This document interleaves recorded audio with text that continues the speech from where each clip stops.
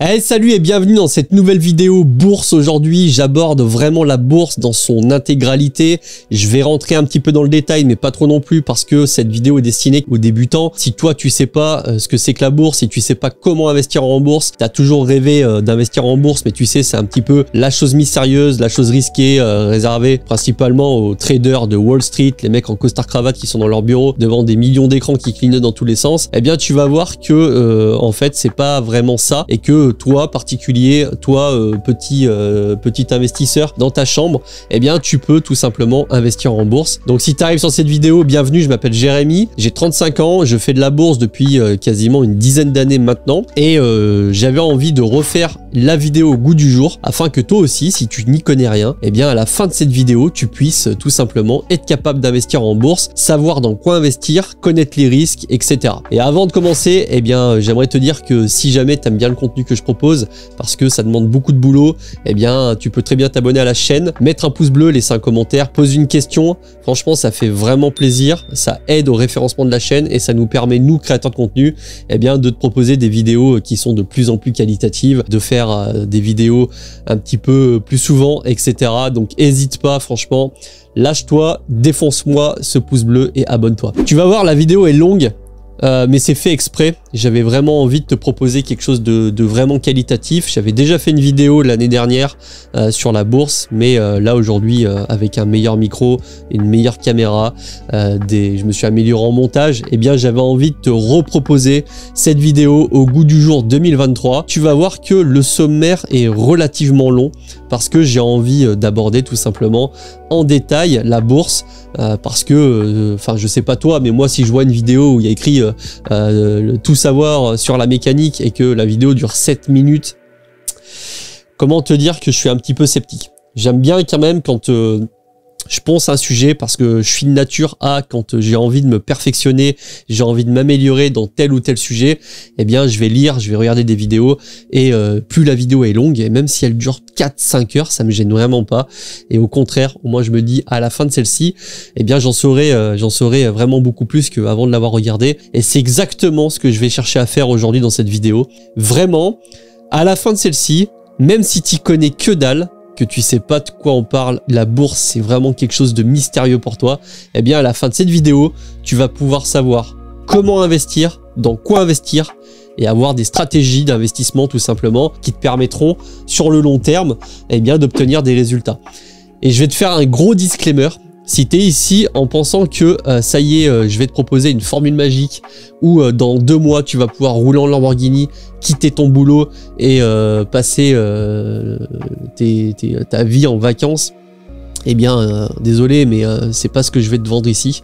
Je te vends rien du tout. Aujourd'hui, je suis ici pour te parler et pour te présenter la bourse avec mes mots à moi de quelqu'un qui tout simplement a appris avec le temps euh, bah, à, se diversifier et à savoir et comprendre deux trois notions que tu ne sais pas si tu es débutant et euh, tu vas gagner du temps en regardant cette vidéo. Donc déjà premièrement, eh bien je pense qu'il faut attaquer par le début parce que bah, le début c'est la bourse c'est quoi? La bourse si tu veux c'est euh, une place de marché internationale où vont s'échanger pas mal de produits financiers, de titres telles que peuvent être les actions, tu as déjà entendu parler de ça, des obligations, ça va être aussi des matières premières, euh, des ETF, bref, il y a tout un ensemble de produits financiers qui s'échangent sur cette place de marché entre investisseurs. Un investisseur, ça peut être un particulier comme un professionnel. Hein.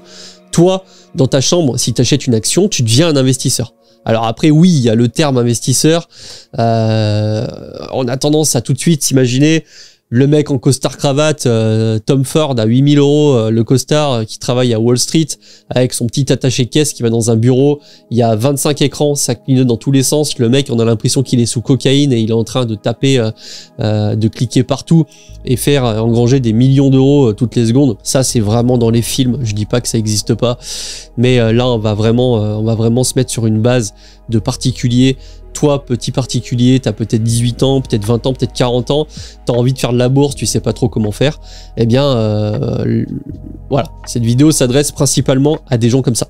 Donc, la bourse, voilà, c'est une place de marché gigantesque qui est vraiment gigantesque. Euh, je, crois que de mémoire, on est sur du, euh, du 100 trillions de dollars en bourse, si ce n'est pas plus.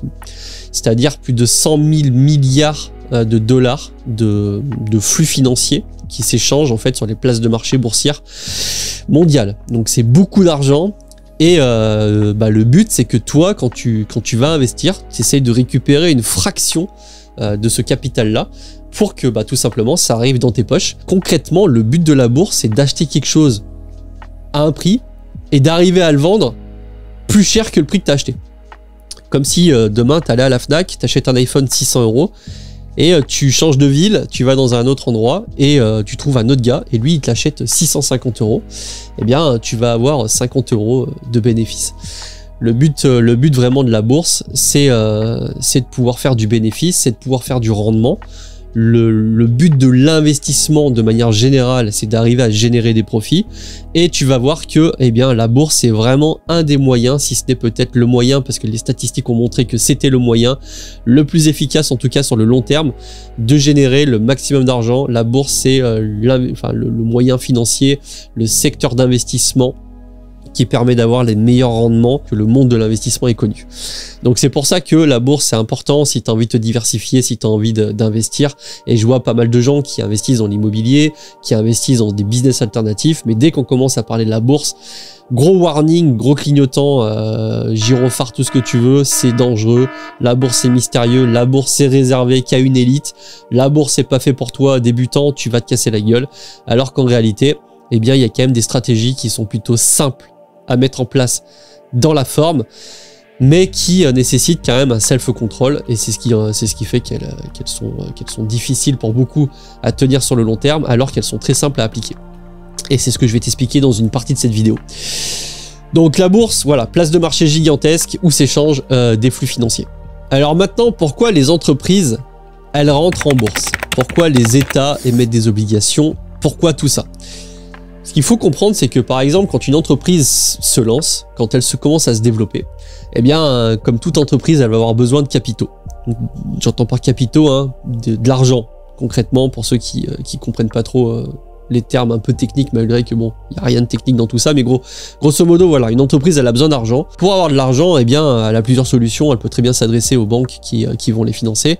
Mais il y a aussi une solution qui est vraiment topissime, c'est de rentrer en bourse, tout simplement et euh, de, mettre à la disposition de la vente d'actions.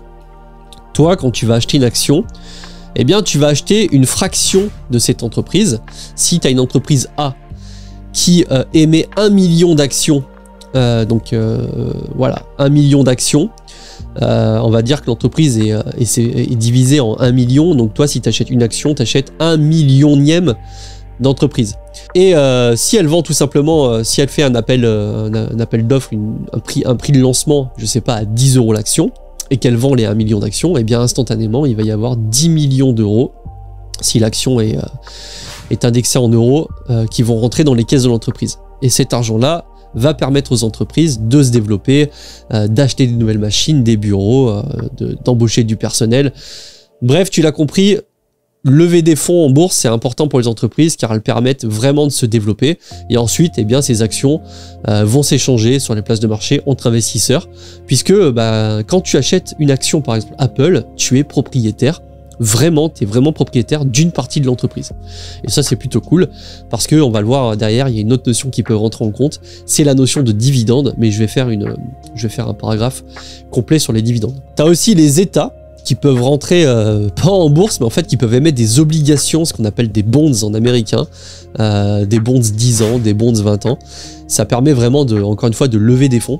À la différence que quand tu achètes une action, tu achètes un titre de propriété, alors que quand tu achètes des, euh, des obligations, des bonds, tu achètes de la dette. Alors c'est vrai que c'est bizarre de dire ça comme ça, mais Jérém, c'est quoi le, c'est quoi ce bordel euh, T'achètes de la dette, ok, mais euh, la dette c'est mauvais, tu vois. Euh, enfin, en tout cas, c'est ce qu'on, c'est ce qu'on a l'idée et l'idée qu'on s'en fait quand on n'a pas vraiment de notion. Acheter de la dette, mais pourquoi acheter de la dette? Ce qu'il faut comprendre, c'est que quand tu une action, donc un titre de propriété d'entreprise, donc des actions d'entreprise, tout simplement des actions Apple, des actions Amazon, tu vas être rémunéré en premier sur, euh, sur la participation bénéfice via les dividendes, s'il y a des dividendes. Par contre, si la société euh, coule, euh, fait faillite, eh bien, tu es le premier impacté. Ton, ton action tombe à zéro, donc du coup, elle vaut plus rien, ou quasiment plus rien. Et euh, toi, investisseur, tu seras le premier impacté financièrement parlant. Quand tu achètes de la dette de l'État, en tout cas jusqu'à aujourd'hui, donc des obligations, tu as déjà, au moment où tu rentres, tu vas avoir une sorte de contrat qui va te dire que tu vas acheter, euh, par exemple, euh, pour 100 000 euros euh, d'obligations d'État française ou chinoise ou ce que tu veux, et l'État s'engagera à te reverser un pourcentage de la somme totale que tu auras mis en obligation tous les ans. Je te donne un exemple bête, hein, c'est pas des chiffres réels, mais pour bien que tu comprennes. Admettons, tu achètes 1000 euros d'obligations d'État. Le contrat stipule que chaque année, tu vas être récompensé à hauteur de 4% de ton capital. Donc tous les ans, tu vas avoir 40 euros de récompense. Le contrat dit que tu vas détenir ces obligations d'État pendant 10 ans. Globalement, c'est les bonds 10 ans. Et à la fin de celle-ci, on va te rendre ton capital. Et ça, c'est déjà prévu à l'avance. C'est-à-dire que quand tu achètes des obligations, quand tu achètes de la dette, tu as un contrat qui te dit que tu sais combien tu vas payer, tu sais combien tu vas être rémunéré annuellement parlant, et tu sais combien de temps ça va durer. Ça, c'est vraiment le, la particularité des obligations. Les actions, tu les achètes, c'est toi qui vas décider de combien de temps tu les gardes, c'est toi qui vas décider à quel moment tu vas les revendre, mais tu n'as aucune garantie sur quoi que ce soit. C'est-à-dire que demain, si tu achètes une action Apple, tu n'as aucune garantie que celle-ci va monter.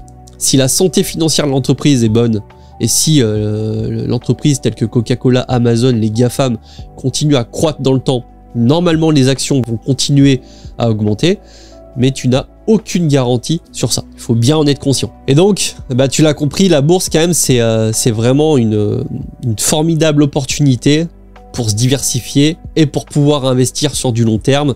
Au sein de la bourse, ce qui est bien, c'est qu'il n'y a pas de méthode miraculeuse.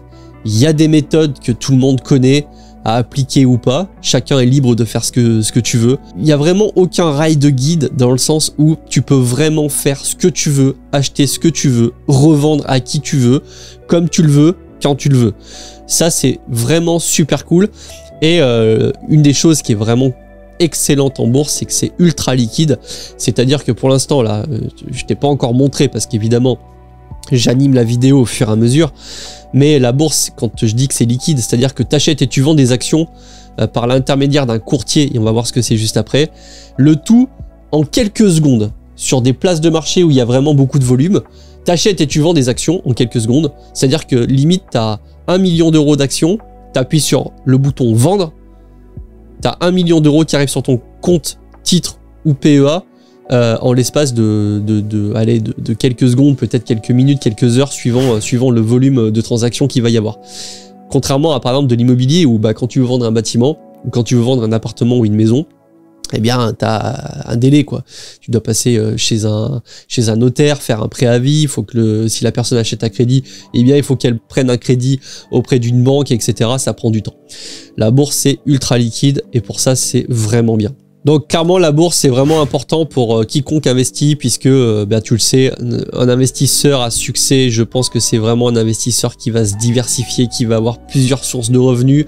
Même si euh, toi tu es débutant faut pas faut pas lésigner sur le fait que commencer à investir en bourse avec des petites sommes, et d'ailleurs je te conseille d'investir en bourse, de commencer à investir en bourse avec des petites sommes parce que tu vas voir que eh bien il y a une grosse grosse grosse partie psychologique en bourse, euh, des ascenseurs émotionnels assez violents et il faut être assez solide. Si tu commences à investir, je sais pas, avec 100 000 euros parce que tu as eu un héritage de 100 000 euros et que bah en fait à ce moment-là tu te tapes un Covid et que ça fait moins 40%, crois-moi, tu vas tellement serrer les fesses que tu vas vendre à perte et tu vas sortir de la bourse et tu vas avoir le discours euh, que tu peux entendre parfois, où euh, tu vas avoir quelqu'un qui va te dire moi je connais un gars, il a essayé la bourse et franchement il s'est cramé les ailes, il a perdu 40 000 euros en deux semaines. Simplement pourquoi? Parce que les stratégies, comme je te l'ai dit au début de cette vidéo, sont assez simples à maîtriser et à comprendre dans les faits. Et euh, même si là tu, doutes, tu vas voir, je vais te mettre des exemples concrets, je vais te mettre des statistiques à l'appui, des graphes, tu vas avoir pas mal de choses. C'est pour ça, reste bien jusqu'à la fin de cette vidéo. Ça sera vraiment important pour toi si tu veux commencer à investir. Et euh, la grande notion, vraiment le, gros coupable dans tout ça, c'est le psychologique, c'est dans la tête quand tu quand es solide, quand tu sais où tu vas, quand tu as ta stratégie, quand tu as déjà vécu des cracks comme j'ai pu le vivre, que ce soit euh, Brexit, que ce soit Covid, où tu as des marchés qui s'effondrent littéralement, eh bien euh, c'est mieux d'être préparé. C'est pour ça que commencer avec des petites sommes, ça t'évite d'avoir des trop gros ascenseurs émotionnels. Et puis petit à petit, tu vas commencer à monter en capital, tu vas faire grossir ton capital. Et du coup, bah forcément, 2% de 1 million d'euros, c'est plus important que en termes de financier, en termes de, de chiffres, que 2% de 1000 euros. Et euh, il vaut mieux y aller progressivement quand tu débutes. Maintenant qu'on sait tout ça, c'est concrètement, bah, ok, mais comment on investit en bourse? On verra après euh, les différents euh, produits d'investissement disponibles. Mais globalement, c'est ok, ok GRM, ok, mais comment comment on fait pour acheter des actions concrètement? Faut savoir que les actions, tu les achètes systématiquement par l'intermédiaire, ce qu'on appelle d'un broker, d'un courtier. Un courtier, c'est quoi? C'est tout simplement une banque ou un courtier en valeur mobilière. Ce qu'on appelle un courtier en valeur mobilière, eh bien, ça peut être ta banque, ça peut être Fortunéo, ça peut être Boursorama, ça peut être De Giro, Bourse Direct, etc. Ça, ce sont des courtiers immobiliers. Et d'ailleurs, moi, sur ma chaîne, j'utilise le courtier Fortunéo. Je te dis pas que c'est le meilleur, il y en a des très bien Fortino, je suis très content. Tu peux avoir pas mal de pas mal de vidéos explicatives où je te montre l'interface Fortuneo et d'ailleurs euh, tu vas avoir aussi l'interface Fortuneo dans la vidéo puisque euh, comme je te l'ai dit, je parle mais je te montre aussi des exemples pour pas que ça soit que du blabla devant une caméra. Si jamais tu as envie d'utiliser Fortuneo au passage, eh bien hésite pas à utiliser le code de parrainage que tu trouves dans la description et que je te mets juste ici. Euh, tu peux c'est pas que tu peux, c'est que tu auras un capital de départ puisque Fortunéo pour le parrainage donne un petit peu d'argent euh, à celui qui rentre et euh, moi je suis rémunéré en conséquence de. C'est une façon de me remercier par exemple pour cette vidéo. Donc n'hésite pas à utiliser le code de parrainage. Donc un courtier, euh, voilà, toi toi tu vas tout simplement utiliser l'interface du courtier puisque maintenant les actions, contrairement à dans les années 70 où tu allais chercher ton, ton coupon, ton bout de papier, tout est en ligne. C'est-à-dire que tu fais ça depuis ton téléphone, depuis un ordinateur. Tu passes des ordres, ce qu'on appelle des ordres d'achat, des ordres vente. Mais globalement, tu passes des ordres euh, via ce courtier-là. Encore une fois, t'inquiète pas, je vais te montrer tout ce qui est un ordre. Tu vas vraiment tout avoir. Donc tu utilises ton courtier et euh, par exemple, tu vas faire des recherches euh, sur des places de marché. Tu vas rechercher l'action Apple et tu vas tout simplement demander à ton courtier de passer un ordre sur les places de marché pour que toi tu puisses récupérer les actions, les titres de propriété.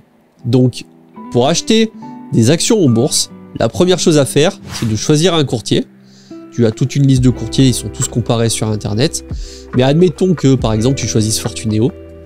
Eh bien, tu vas tout simplement faire un dossier d'ouverture de PEA ou de compte titre sur Fortuneo. Et là, tu te dis, c'est quoi un compte titre, c'est quoi un PEA, tu nous parles de quoi?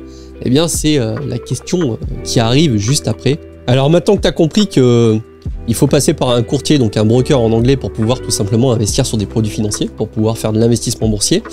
Eh bien, tu vas voir que, euh, en l'occurrence, quand tu vas commencer à faire les démarches d'ouverture au niveau de ces brokers, il va y avoir deux possibilités qui vont s'offrir à toi si tu es euh, français, si tu, as, si tu as ta résidence fiscale en France.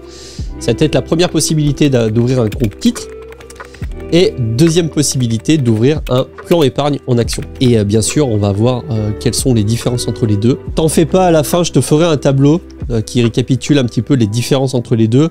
Et on va commencer tout de suite. Je vais t'expliquer un peu qu'est-ce que c'est que tout ça, comment ça marche, qu'est-ce que ça a pour but, etc. Le compte titre, c'est un compte spécialement dédié à la bourse qui te permet d'acheter n'importe quel type de produit financier, peu importe sur la place de marché que c'est, partout dans le monde. Globalement, tu peux acheter tout ce qui est possible d'acheter sur le domaine du finance euh, boursière. Tout simplement, t'as pas de limite, que ce soit au niveau de l'apport, euh, des montants, euh, des sommes. Et par contre, tu as une fiscalité qui est fixe sur ce compte titre-là. Donc globalement, avec le compte titre, tu peux ajouter un milliard d'euros sur le compte titre si tu veux. Tu peux acheter pour un milliard d'euros d'actions si tu veux. Il n'y a pas de durée de détention. Tu rentres et tu sors comme tu veux, t'achètes, tu vends comme tu le veux. Par contre, ce qu'il faut savoir, c'est que le compte titre est soumis euh, à une imposition de 30% fixe sur toutes les plus-values. Donc euh, très concrètement, tu fais 1 million d'euros de plus-value, tu es imposé euh, à hauteur de 300 000 euros. Et ça, c'est non négociable. Il n'y a pas d'avantage fiscal, contrairement au PEA tel qu'on va le voir après. Voilà, le compte titre, c'est 30% d'imposition sur la plus-value. Ce qu'il faut savoir aussi, c'est que tous les ans, eh bien, tu dois déclarer euh, tes pertes ou tes bénéfices fiscalement au niveau des impôts. sur le compte titre. Donc voilà, il faut le savoir. Concrètement, euh, c'est un petit peu ce qui se passe sur son compte titre. Et par contre, tu peux avoir des frais de gestion de ton compte titre. Euh, généralement, c'est en fonction du, broker, en fonction du courtier. Donc à regarder dans les mentions légales, dans les conditions générales de vente. Pour le plan épargne en action, euh, la condition pour pouvoir posséder un PEA, ce qu'on appelle un PEA, eh bien c'est d'être résident fiscalement en France. Donc ça c'est la condition, la première des conditions. La deuxième des conditions, c'est d'être majeur. Tu peux pas avoir un PEA si t'es pas majeur. Ensuite, euh, tu peux avoir un seul PEA euh, par personne. Donc si par exemple tu es marié ou paxé, évidemment tu peux avoir un PEA pour chaque conjoint. Mais globalement, voilà, être majeur, être résident euh, fiscal français et euh, un seul plan euh, épargne action par personne. Donc ça, c'est déjà les conditions de base. Il faut savoir qu'il existe trois types de PEA. Donc il y a le PEA dit classique action, qui te permet tout simplement d'acheter des actions, des actions françaises, parce que ça c'est encore une notion qu'on va voir après. Il existe le PEA classique assurance, donc comme son nom l'indique, en fait c'est souscrit auprès d'une assurance. Et il va exister le PEA PME, donc plan épargne d'action petite et moyenne entreprise, euh, qui est un PEA qui permet d'investir dans des bah, petites et moyennes entreprises. À la différence du PEA classique, euh, sur celui-ci, tu peux avoir euh, un apport totaux sur toute la durée de vie du PEA jusqu'à 225 000 euros. Mais on va voir également ce détail juste après. Donc voilà, trois types de PEA. PEA classique action, PEA classique assurance, PEA PME. Le PEA, si tu veux, pour faire simple, euh, c'est euh, un plan épargne action mis en place euh, pour les résidents fiscaux français et euh, si tu veux, l'État français va t'inciter à investir dans des actions françaises. Euh, mais tu vas voir qu'il y a des petits, des petits hacks qui permettent aussi d'investir dans des actions américaines via des ETF. Mais je, on reviendra dessus dans cette partie un peu plus tard dans la vidéo. Mais très concrètement, l'idée derrière, c'est que le gouvernement français t'incite fortement à investir dans des actions françaises et des actions européennes. Et en contrepartie, tu vas avoir des avantages fiscaux. Par contre, le PEA, contrairement au compte titre, euh, tu ne peux pas euh, avoir une quantité d'argent illimitée. En tout cas, tu ne peux pas apporter autant d'argent que tu le veux. Tu vas avoir une limite qui est de 150 000 euros pour le PEA classique action et PEA classique assurance. Ce qui veut dire que, en termes d'apport cumulé, durant toute la durée de vie du PEA, tu vas pouvoir apporter jusqu'à un maximum de 150 000 euros, alors que le PEA PME, lui, va être bloqué à 225 000 euros. Par contre, pas d'inquiétude, par exemple, si tu as mis, euh, je sais pas, 500 euros par mois pendant X années, donc admettons 500 euros par mois, ça fait 6000 euros à l'année, 10 ans, ça fait 60 000, 20 ans, ça fait 120 000, donc euh, globalement 25 ans. Donc il va te falloir 25 ans pour, pour avoir un apport maximum euh, de la limite de 150 000 euros. Par contre, si derrière les intérêts composés euh, sur ton PEA ont fait que celui-ci euh, a par exemple une, je sais pas, une capitalisation totale euh, de l'ordre de 300 000 euros, pas d'inquiétude, hein, ça va continuer à monter indéfiniment jusqu'à ce que tu clôtures ou jusqu'à ce que tu retires l'intégralité de ce que tu as sur ton PEA. Mais voilà, contrairement au compte titre où tu peux apporter la somme que tu veux, le PEA est limité à 150 000 euros. Ça, c'est le premier truc. Le deuxième truc, c'est que le PEA, il va y avoir une notion de timer, de temps, qui va rentrer dans la balance, c'est que euh, à partir du moment où tu as fait ton premier apport d'argent sur ton PEA, le timer se déclenche et euh, après 5 ans de détention euh, de ton plan épargne action, tu vas être exonéré sur les plus-values. Quand je dis exonéré sur les plus-values, c'est que tu vas simplement payer la CSG CRDS, en tout cas à l'heure d'aujourd'hui, on est le 11 mars 2023, il n'y a pas encore de modification. Donc tu vas payer 17,2% sur les plus-values euh, que tu vas réaliser lorsque tu détiens le PEA depuis plus de 5 ans. Lorsque tu es sur la tranche 0,5 ans, euh, c'est-à-dire avant le, avant le timer des 5 ans, eh bien tu vas être soumis à une imposition à 30%. L'imposition sur les dividendes, on a coutume de dire que c'est 17,2%, mais euh, c'est pas vraiment le cas. C'est très spécifique, je peux pas rentrer dans le détail parce que ça serait vraiment trop long à expliquer, puis pour une vidéo dédiée aux débutants, euh, on perdrait vraiment beaucoup de personnes en route. Je t'inviterai à te renseigner sur la partie fiscalité, sur les dividendes, sur le PEA. Lorsque tu auras pris un petit peu plus conscience de ce qu'est la bourse et si tu sais déjà euh, ce que c'est, si tu si es déjà à l'aise dans l'investissement et dans euh, les placements financiers, n'hésite pas à aller acheter un œil, il y a des articles qui sont très bien écrits. Tu vas voir que c'est un peu spécifique par rapport euh, à la fiscalité des dividendes. Globalement, le PEA, ça va être fiscalité à 30% de 0 à 5 ans, détention de plus de 5 ans, on passe à 17,2% de fiscalité. Le compte titre, on est sur du 30% continu. Donc ça, c'est les choses euh, à savoir. Et pour finir, tu vas avoir des frais de fonctionnement, des frais de détention du PEA euh, chez ton broker qui ne peuvent pas excéder 0,6% à l'heure où je te parle. Donc, si on récapitule euh, par un tableau, eh bien, tu peux voir que donc compte titre, plan d'investissement donc infini, on met la somme qu'on veut. PEA limité à 150 000 euros, sauf pour le PEA PME à 225 000 euros. La fiscalité sur le compte titre, on est sur du 30% euh, euh, continu, peu importe euh, ce qui se passe. Le PEA, exonération si détention depuis plus de 5 ans. Euh, frais d'acquisition, compte titre, ça va être en fonction de ton broker. Sur le PEA, PME, euh, ça peut pas excéder 0,6%. Et euh, globalement, voilà un peu les différences qu'il peut y avoir au niveau du compte titre et du PEA. Maintenant, une question que tu vas te poser, c'est ok, mais dans ce cas-là, moi je fais quoi? J'investis sur le compte titre, j'investis sur le PEA. Eh bien, je te dirais que ça va dépendre de ta stratégie d'investissement. Stratégie qu'on verra dans une partie plus loin dans la vidéo. Je te montrerai, je t'expliquerai un peu les différentes stratégies que tu peux mettre en place lorsque tu vas faire de l'investissement boursier. Mais très concrètement, ça va vraiment dépendre de toi. Est-ce que c'est de l'argent que tu veux placer euh, en attendant, euh, par exemple, l'achat d'un projet immobilier et euh, dans lequel tu peux, en tout cas, tu vas pouvoir avoir besoin assez rapidement pour une raison quelconque et dans ce cas-là, tu auras besoin de le retirer, eh bien, je te conseillerais d'investir dans le compte titre. Maintenant, si c'est un apport en DCA, d'investissement sur le long terme et c'est de l'argent que tu n'as pas prévu de toucher, eh bien, je te conseillerais fortement d'investir pour commencer sur le plan épargne action, quitte à bloquer, ou en tout cas à essayer de bloquer justement le compteur des apports à 150 000 euros pour pouvoir bénéficier des avantages fiscaux. D'autant plus que, comme je te l'ai dit, il y a un hack avec le PEA, on peut acheter des ETF euh, étrangères sur des indices étrangers, par exemple le S&P 500, le Nasdaq. On verra ça un peu plus tard dans la catégorie et dans le module euh, des différents investissements possibles. Mais euh, franchement, le PEA, en tout cas pour un débutant, si tu mets de l'argent que tu n'as pas forcément besoin tout de suite, c'est une bonne, euh, c'est une bonne solution. Je te conseillerais de commencer par le PEA, mais encore une fois, c'est vraiment spécifique à ta solution euh, d'investissement, à ta, à ton approche tout simplement.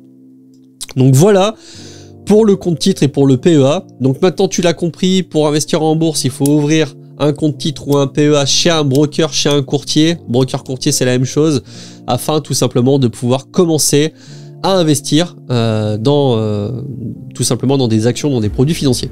Et maintenant, on va rentrer dans la phase euh, des différents tout simplement produits financiers que tu pourras retrouver sur les places de marché parce que c'est vrai que c'est un univers quand tu arrives dedans, tu sais pas trop où donner de la tête, tu sais pas trop où regarder, c'est tellement vaste. Mais on va surtout s'attarder sur deux produits financiers aujourd'hui dans cette vidéo parce que je le rappelle, c'est quand même destiné à une euh, catégorie de personnes qui débutent en bourse ou alors qui, savent comment fonctionne la bourse sans avoir passé, sans avoir franchi le pas et qui veulent tout simplement commencer leurs premiers investissements boursiers. Et du coup, ces produits financiers, ça sera les actions et euh, les ETF. Donc ETF qui est un acronyme anglais qui veut dire Exchange Trading Fund. Et euh, ne t'en fais pas, je vais t'expliquer tout ça. Donc les actions, comme je te le disais, c'est des titres de propriété, tu es propriétaire euh, d'une partie d'une entreprise. Voilà, le, marché action est vraiment un très très gros marché, même si le marché obligation est encore supérieur en termes de masse monétaire, de masse euh, tout simplement d'argent qu'il y a dedans que le marché euh, action. Mais les obligations, c'est s'achète de la dette, c'est un peu différent que, que le marché action. Moi, je préfère me concentrer sur le marché action, mais globalement, sur les, euh, sur les produits financiers que tu vas avoir. Donc tu vas avoir les actions qui sont des titres de propriété d'entreprise, les obligations, comme je te l'ai dit, c'est de la dette. Tu vas avoir des FNB, des fonds négociants en bourse. Donc euh, voilà, c'est des, des, placements sur des fonds d'investissement. Tu vas avoir des ETF. Les ETF, c'est euh, globalement, tu vas acheter des paniers d'actions. Et tu vas avoir aussi des matières premières ça peut être de l'or, du pétrole, de l'argent, ça peut être euh, toutes sortes de matières premières, de l'énergie. Et ensuite, tu as aussi une catégorie euh, un peu spécifique pour euh, les personnes les, plus avancées, un peu plus avancées en tout cas qu'aujourd'hui, qui vont être les options d'achat et les options de vente, ce qu'on appelle les puts et les calls. Mais on va pas, je vais pas détailler cette partie-là parce que je pense que c'est c'est vraiment une notion qui vient après avoir commencé ses premiers investissements. Toi, principalement, tu vas te concentrer sur les actions d'entreprise euh, des actions style Apple, Société Générale, euh, Renault, Schneider, n'importe quel type d'action d'entreprise. Et euh, évidemment, les actions d'entreprise vont dépendre de si tu investis par un compte titre ou si tu investis sur un PEA. Parce que je te le rappelle, si tu commences par un PEA, eh bien par exemple, tu vas pas pouvoir acheter du Apple via ton PEA. Sauf si tu passes par une catégorie de produits financiers qu'on appelle les ETF. Donc ces ETF là, qui sont des paniers d'actions, c'est euh, techniquement, si tu achètes un ETF du 440, tu vas acheter euh, un ETF qui contient une fraction de toutes les entreprises du 440. Donc c'est globalement, ça revient à investir sur le 440 dans sa totalité. Et tu as bien sûr des ETF sur le pétrole, des ETF sur le S&P 500, des ETF sur le Nikkei, des ETF sur les pays émergents. Bref, des ETF, tu en as une infinité. Euh, la liste est vraiment longue. Après, tous les ETF ne sont pas éligibles au PEA, mais le très gros avantage que tu vas pouvoir avoir, c'est qu'il y a pas mal d'ETF qui sont éligibles au PEA et dans ces ETF, tu peux te retrouver avec des actions de sociétés américaines ou tout simplement des indices américains. Et c'est ça le hack que je te parlais tout à l'heure. C'est que tu peux avoir de l'avantage fiscal via le PEA tout en investissant sur des sociétés américaines ou des sociétés asiatiques ou des pays émergents. Et ça, c'est vraiment un très gros plus puisque euh, j'ai pas mal parlé euh, d'ETF sur ma chaîne. Il y a beaucoup de vidéos qui parlent des ETF et notamment des performances des ETF qui ont euh, bah, tout simplement qui surperforment pas mal de portefeuilles, que ce soit institutionnel ou personnel, particulier. Donc c'est vraiment pas à prendre à la légère. Là aujourd'hui, dans le PEA PME, tu as globalement as deux sociétés qui permettent d'émettre des ETF qui sont éligibles au PEA PME, qui sont Lixor et Amundi. Euh, moi, j'ai choisi à titre personnel l'ETF de chez Amundi, mais globalement, ce sont les mêmes. La, répartition des actions et euh, la masse de l'action, par exemple, sur un ETF du S&P 500, je sais pas, la masse d'Apple dans l'ETF peut diverger un petit peu de l'ETF de, de Lixor par rapport à l'ETF d'Amundi, mais très concrètement, acheter un ETF Lixor S&P 500, ça revient quasiment au même que d'acheter un ETF Amundi S&P 500, les performances seront quasiment similaires. Donc c'est hyper intéressant parce que euh, pour avoir fait euh, des recherches assez poussées sur les ETF et notamment euh, sur les performances que ça va pouvoir générer sur le moyen et long terme, eh bien on se rend vite compte que si on achète un ETF du S&P 500 et j'en reviendrai après sur ces notions là d'indice, eh bien c'est vraiment quelque chose euh, qui a tendance à surperformer euh, la plupart des portefeuilles institutionnels et euh, particuliers. Des études ont montré que par exemple sur une échelle de temps de 20 ans, un simple ETF du S&P 500 bat qu'à plus de 95% des portefeuilles. Donc c'est ultra intéressant. Ok, maintenant module sur quels sont les différents types d'investissements qu'on va pouvoir avoir et aussi les notions qui vont rentrer en compte dans tout ce qui va concerner l'investissement boursier parce que c'est vrai que depuis tout à l'heure je te parle je te parle d'indices, etc. Et tu sais pas vraiment ce que c'est que tout ça. Il faut comprendre, c'est qu'un indice en bourse, quand on parle d'indice, on va parler par exemple du 440, du euh, SBF 120, euh, du S&P 500. Et ça, c'est pareil. Là, tu es en train de me dire, tiens, tu, tu es en train de parler chinois, je comprends rien à ce que tu me dis. Le 440, c'est l'indice par exemple français de référence qui est euh, globalement la capitalisation boursière des 40 plus grosses entreprises françaises. La capitalisation boursière, ça veut dire quoi? Si tu vas sur Google, que tu tapes Renault cours, diminutif de cours euh, d'action, cours, cours, cours en bourse, eh bien tu vas tomber directement sur cette fenêtre et euh, tu vas avoir plusieurs données, dont la capitalisation boursière qui est par exemple, à l'instant je te parle de 11,81 milliards d'euros. Ce qui correspond à dire que si on multiplie le nombre d'actions en circulation Renault par le prix de l'action individuelle, eh bien on tombe sur la somme totale de 11,8 milliards d'euros. Et euh, c'est ce qu'on appelle la capitalisation boursière d'une société. C'est-à-dire qu'on va prendre euh, le nombre d'actions euh, en circulation de la société en question, qu'on multiplie par le cours de l'action, et on a la capitalisation boursière. Et donc le 440, c'est les 40 plus grosses capitalisations boursières françaises, de sociétés françaises. Donc tu l'as compris, si par exemple la 40e, la société qui est classée numéro 40, c'est-à-dire dans la liste dans la liste d'ordre. La première sera par exemple LVMH, la dernière, euh, la dernière, je sais pas laquelle c'est, mais globalement la numéro 40, et que la numéro 41 eh bien, se retrouve avec une capitalisation boursière qui est plus importante que celle euh, en 40e position finalement, eh bien celle-ci va rentrer dans le 440 et euh, celle qui était 40e va sortir. Comme ça, on s'assure d'avoir systématiquement les 40 meilleures entreprises. Donc, un indice, le 440 pour la France, le S&P 500, le Nasdaq euh, et le Dow Jones par exemple pour le côté américain, le Nikkei 225 je t'inviterai à aller te renseigner euh, sur ces notions-là. Euh, par contre, un indice qui va être ultra intéressant pour nous, ça va être le S&P 500, qui est le Standard Poor's 500, qui correspond globalement les 500 plus grosses capitalisations boursières des États-Unis. Et euh, c'est un marché qui est assez référence. C'est un marché qui, à lui tout seul, pèse par exemple 50% du marché action mondial donc euh, qui est vraiment un très gros marché. En même temps, euh, c'est pas étonnant puisque dans le S&P 500, eh bien si je te donne des, euh, des noms comme Coca-Cola, comme Apple, comme Amazon, comme Disney, comme Nike, comme Tesla, General Motors, etc. Vraiment des très très grosses sociétés, IBM, Microsoft, Nvidia. C'est vraiment des très très très grosses sociétés qu'on côtoie, qu'on a l'habitude l'habitude d'utiliser des produits de ces sociétés-là.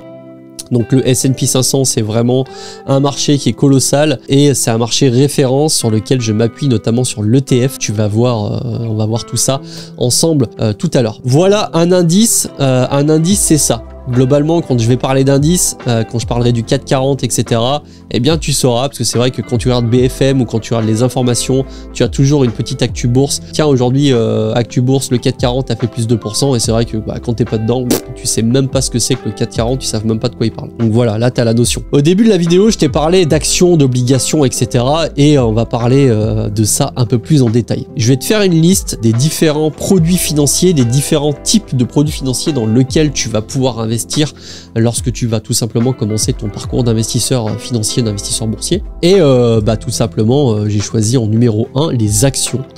Donc les actions, comme je te l'ai dit, qui sont euh, des titres de propriété d'entreprise. Les actions sont vraiment mises à disposition par des entreprises et qui sont vendues sur le marché boursier que toi tu peux acheter, qui permet, comme je te l'ai dit au début, de lever des fonds. Donc euh, typiquement, demain, tu as une société, elle commence à évoluer, et puis tu décides de rentrer sur le marché boursier, de rentrer en capitalisation. Tu vas vendre des actions de ton entreprise euh, que les particuliers, que les professionnels vont pouvoir acheter, et tu vas pouvoir lever des fonds comme ça.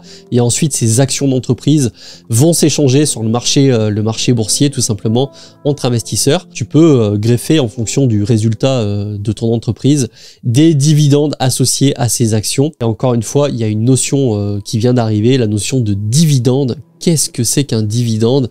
Eh bien, si tu veux, quand tu possèdes une action d'une société, et que la société fonctionne bien, qu'elle fait de l'argent, qu'elle fait du, un résultat net positif, vraiment que les comptes de, l'entreprise vont bien, à la fin de l'année ou euh, n'importe une date dans l'année, et des fois même plusieurs dates dans l'année, la société décide de récompenser les actionnaires, donc actionnaires, c'est-à-dire toi particulier qui possède des actions de la société, en te donnant un pourcentage du bénéfice qui est calculé sur le pourcentage euh, de l'action en question. Pour te donner un ordre d'idée, c'est comme si tu possèdes des actions euh, Disney à 100 euros. Je te dis une connerie, j'ai même pas regardé quel cours, à quel cours sont les actions, mais globalement tu vas comprendre l'idée.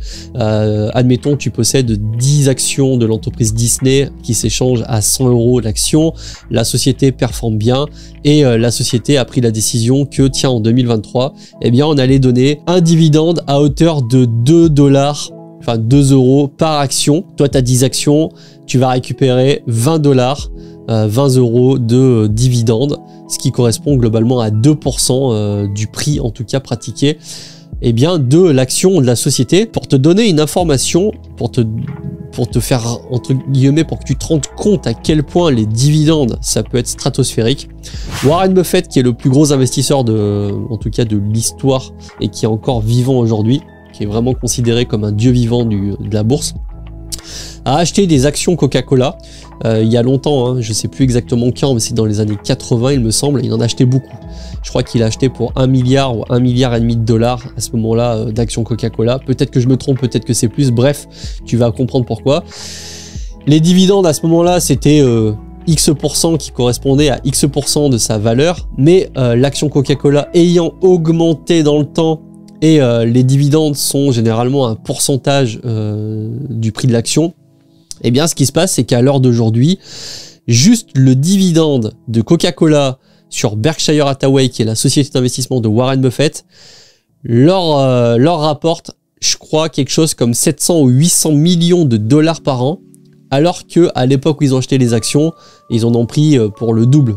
Donc ce qui veut dire qu'aujourd'hui, le dividende euh, de l'action Coca-Cola sur euh, Berkshire Hathaway représente quasiment 50% de, de l'investissement initial. Puisque, eh bien, quand une société croît dans le temps quand une société évolue dans le temps, euh, Amazon il y a 20 ans, c'est pas le Amazon d'aujourd'hui. Amazon d'aujourd'hui est bien plus gros, bien plus costaud que le Amazon il y a 20 ans.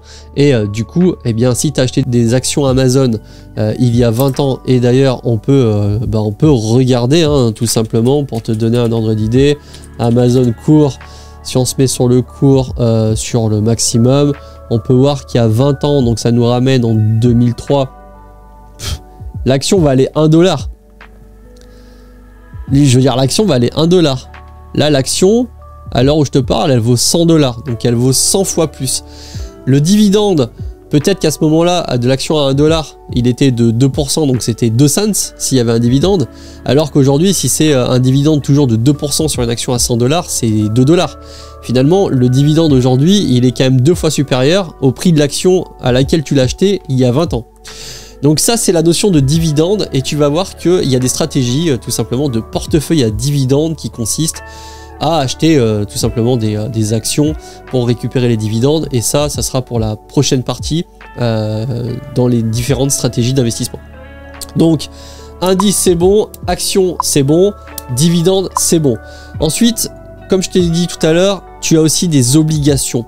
Donc les obligations, globalement, ce sont des titres de créance, c'est de la dette qui sont émis par des États ou des entreprises.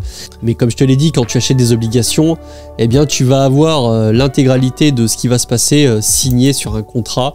Euh, parce que si tu achètes une obligation sur 10 ans, tu sais combien tu vas être rémunéré chaque année pour ces obligations-là. Et à la fin de ces 10 ans, on va te rendre ton capital plus tout simplement la rémunération de l'année en question.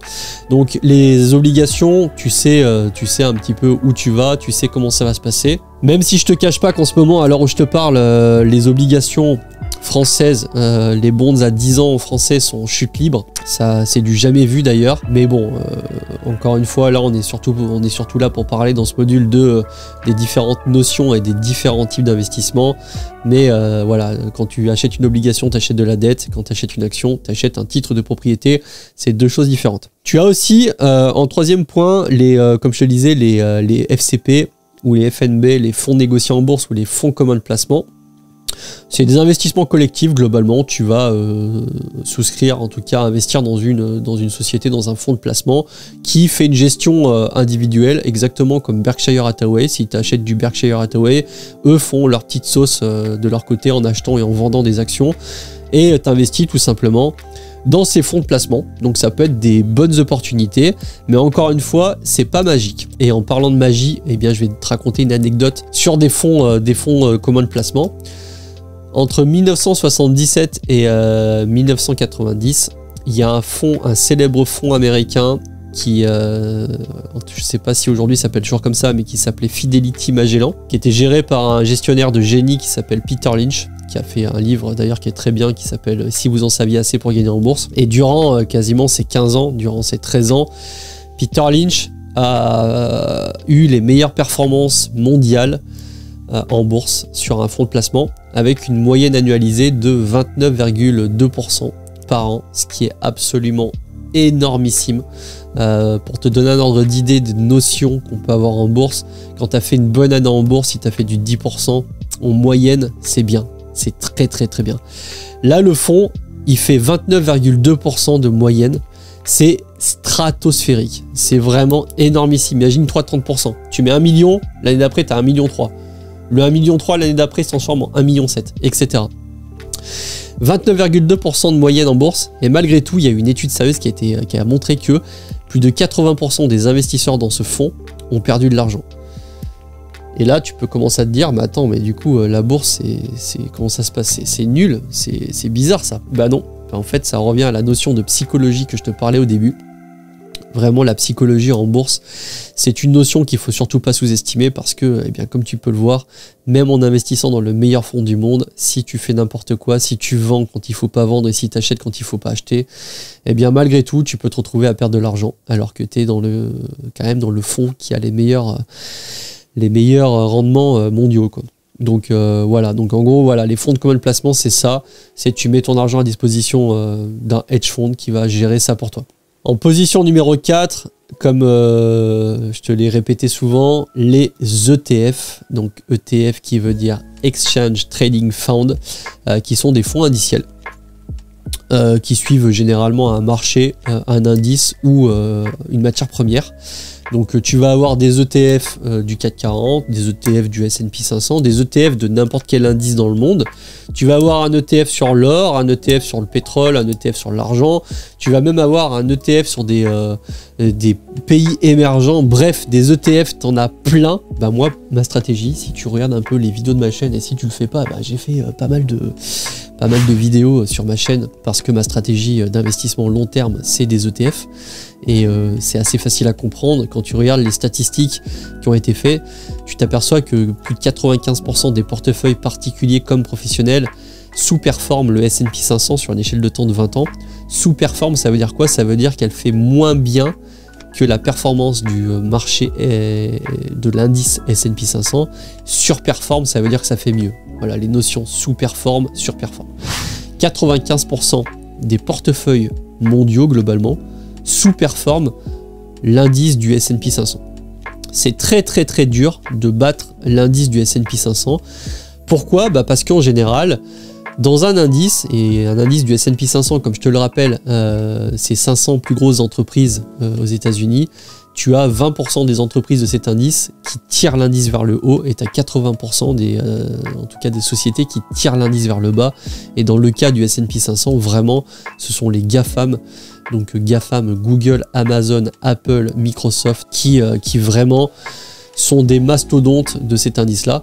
Et euh, c'est pour ça que généralement, euh, si tu t'amuses à choisir des actions individuelles un peu par-ci par-là pour te composer un portefeuille, et si tu t'appelles pas Warren Buffett ou Peter Lynch et que tu n'as pas vraiment des capacités hors normes d'analyse d'entreprise, eh bien, je t'indiquerai vraiment de rester sur des ETF. Mais ça, ça sera J'en parle en détail dans la partie, la partie euh, solution d'investissement, stratégie d'investissement, qu'on regardera en fin de cette vidéo. Donc voilà, les ETF, euh, des fonds indiciels, voilà, ça, suit, ça suit un indice. Ensuite, tu peux avoir en stratégie, en tout cas en option d'investissement, des contrats à terme. Les contrats à terme, c'est souvent euh, défini, en tout cas pratiqué par les entreprises. Par exemple, une entreprise d'aviation va négocier des contrats à terme sur les places financières euh, pour tout simplement avoir un prix fixe sur leur kérosène. Voilà, c'est ça des contrats à terme.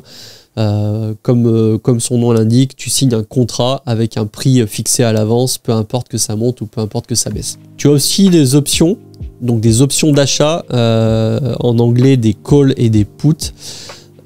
c'est en fait des contrats qui donnent des droits, mais pas des obligations d'acheter un actif à un prix euh, déterminé à l'avance, que ce soit sur la vente ou euh, que ce soit sur euh, l'achat.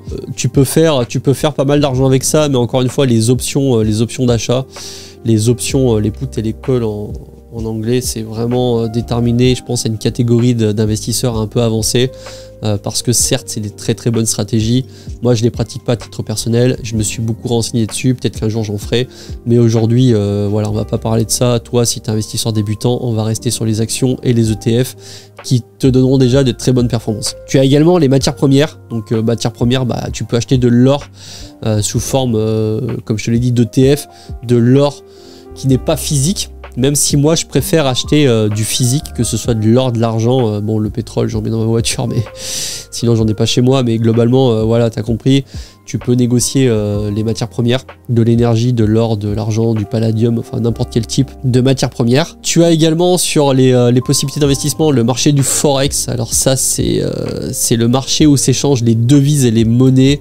globalement le dollar contre l'euro, tu sais quand on dit tiens la parité dollar-euro il y a 10 ans quand je suis parti aux États-Unis, je me souviens un truc du style 1 euro équivalait à 1,4$, un truc comme ça. Donc globalement, quand tu allais à la banque et que tu échangeais 1000 euros, tu recevais en contrepartie 1400 dollars.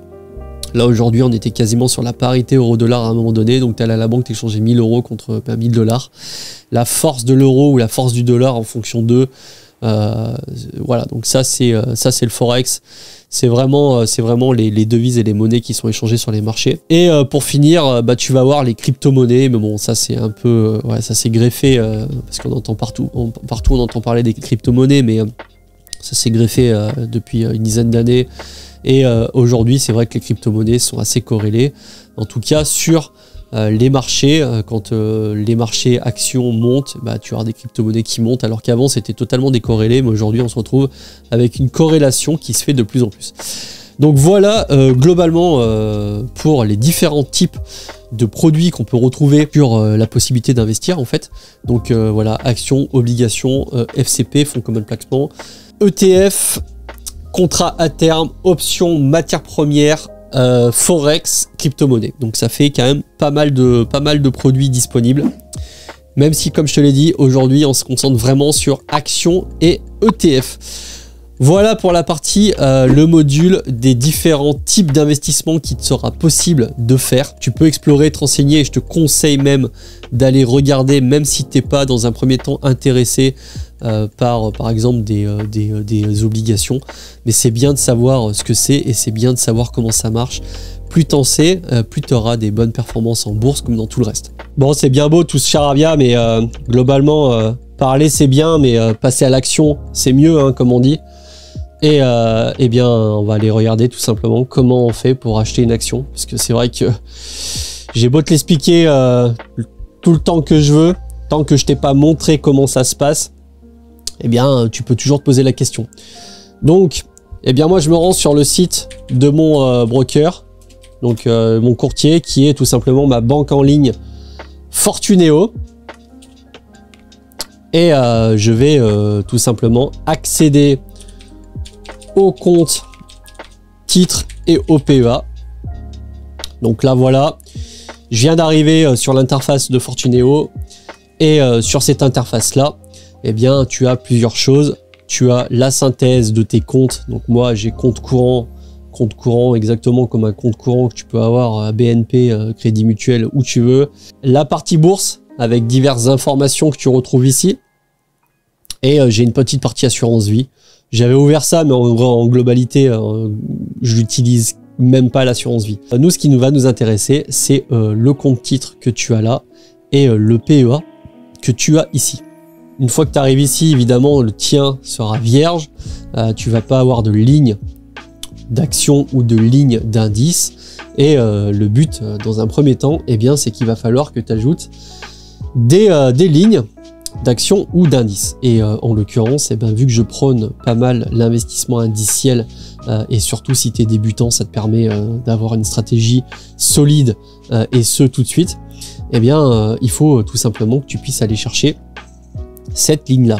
Pour ça, moi, je vais un petit peu simplifier le truc, puisque je vais juste prendre le numéro que j'ai ici.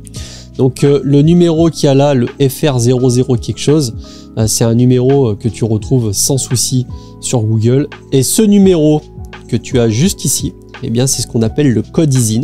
C'est les, euh, codes entre guillemets de, qui permettent de retrouver avec une certitude absolue un ETF comme une action. Et ce code-là, donc une fois que, tu l'as trouvé, donc je le rappelle, toi tu arrives sur ton PEA, il est vierge.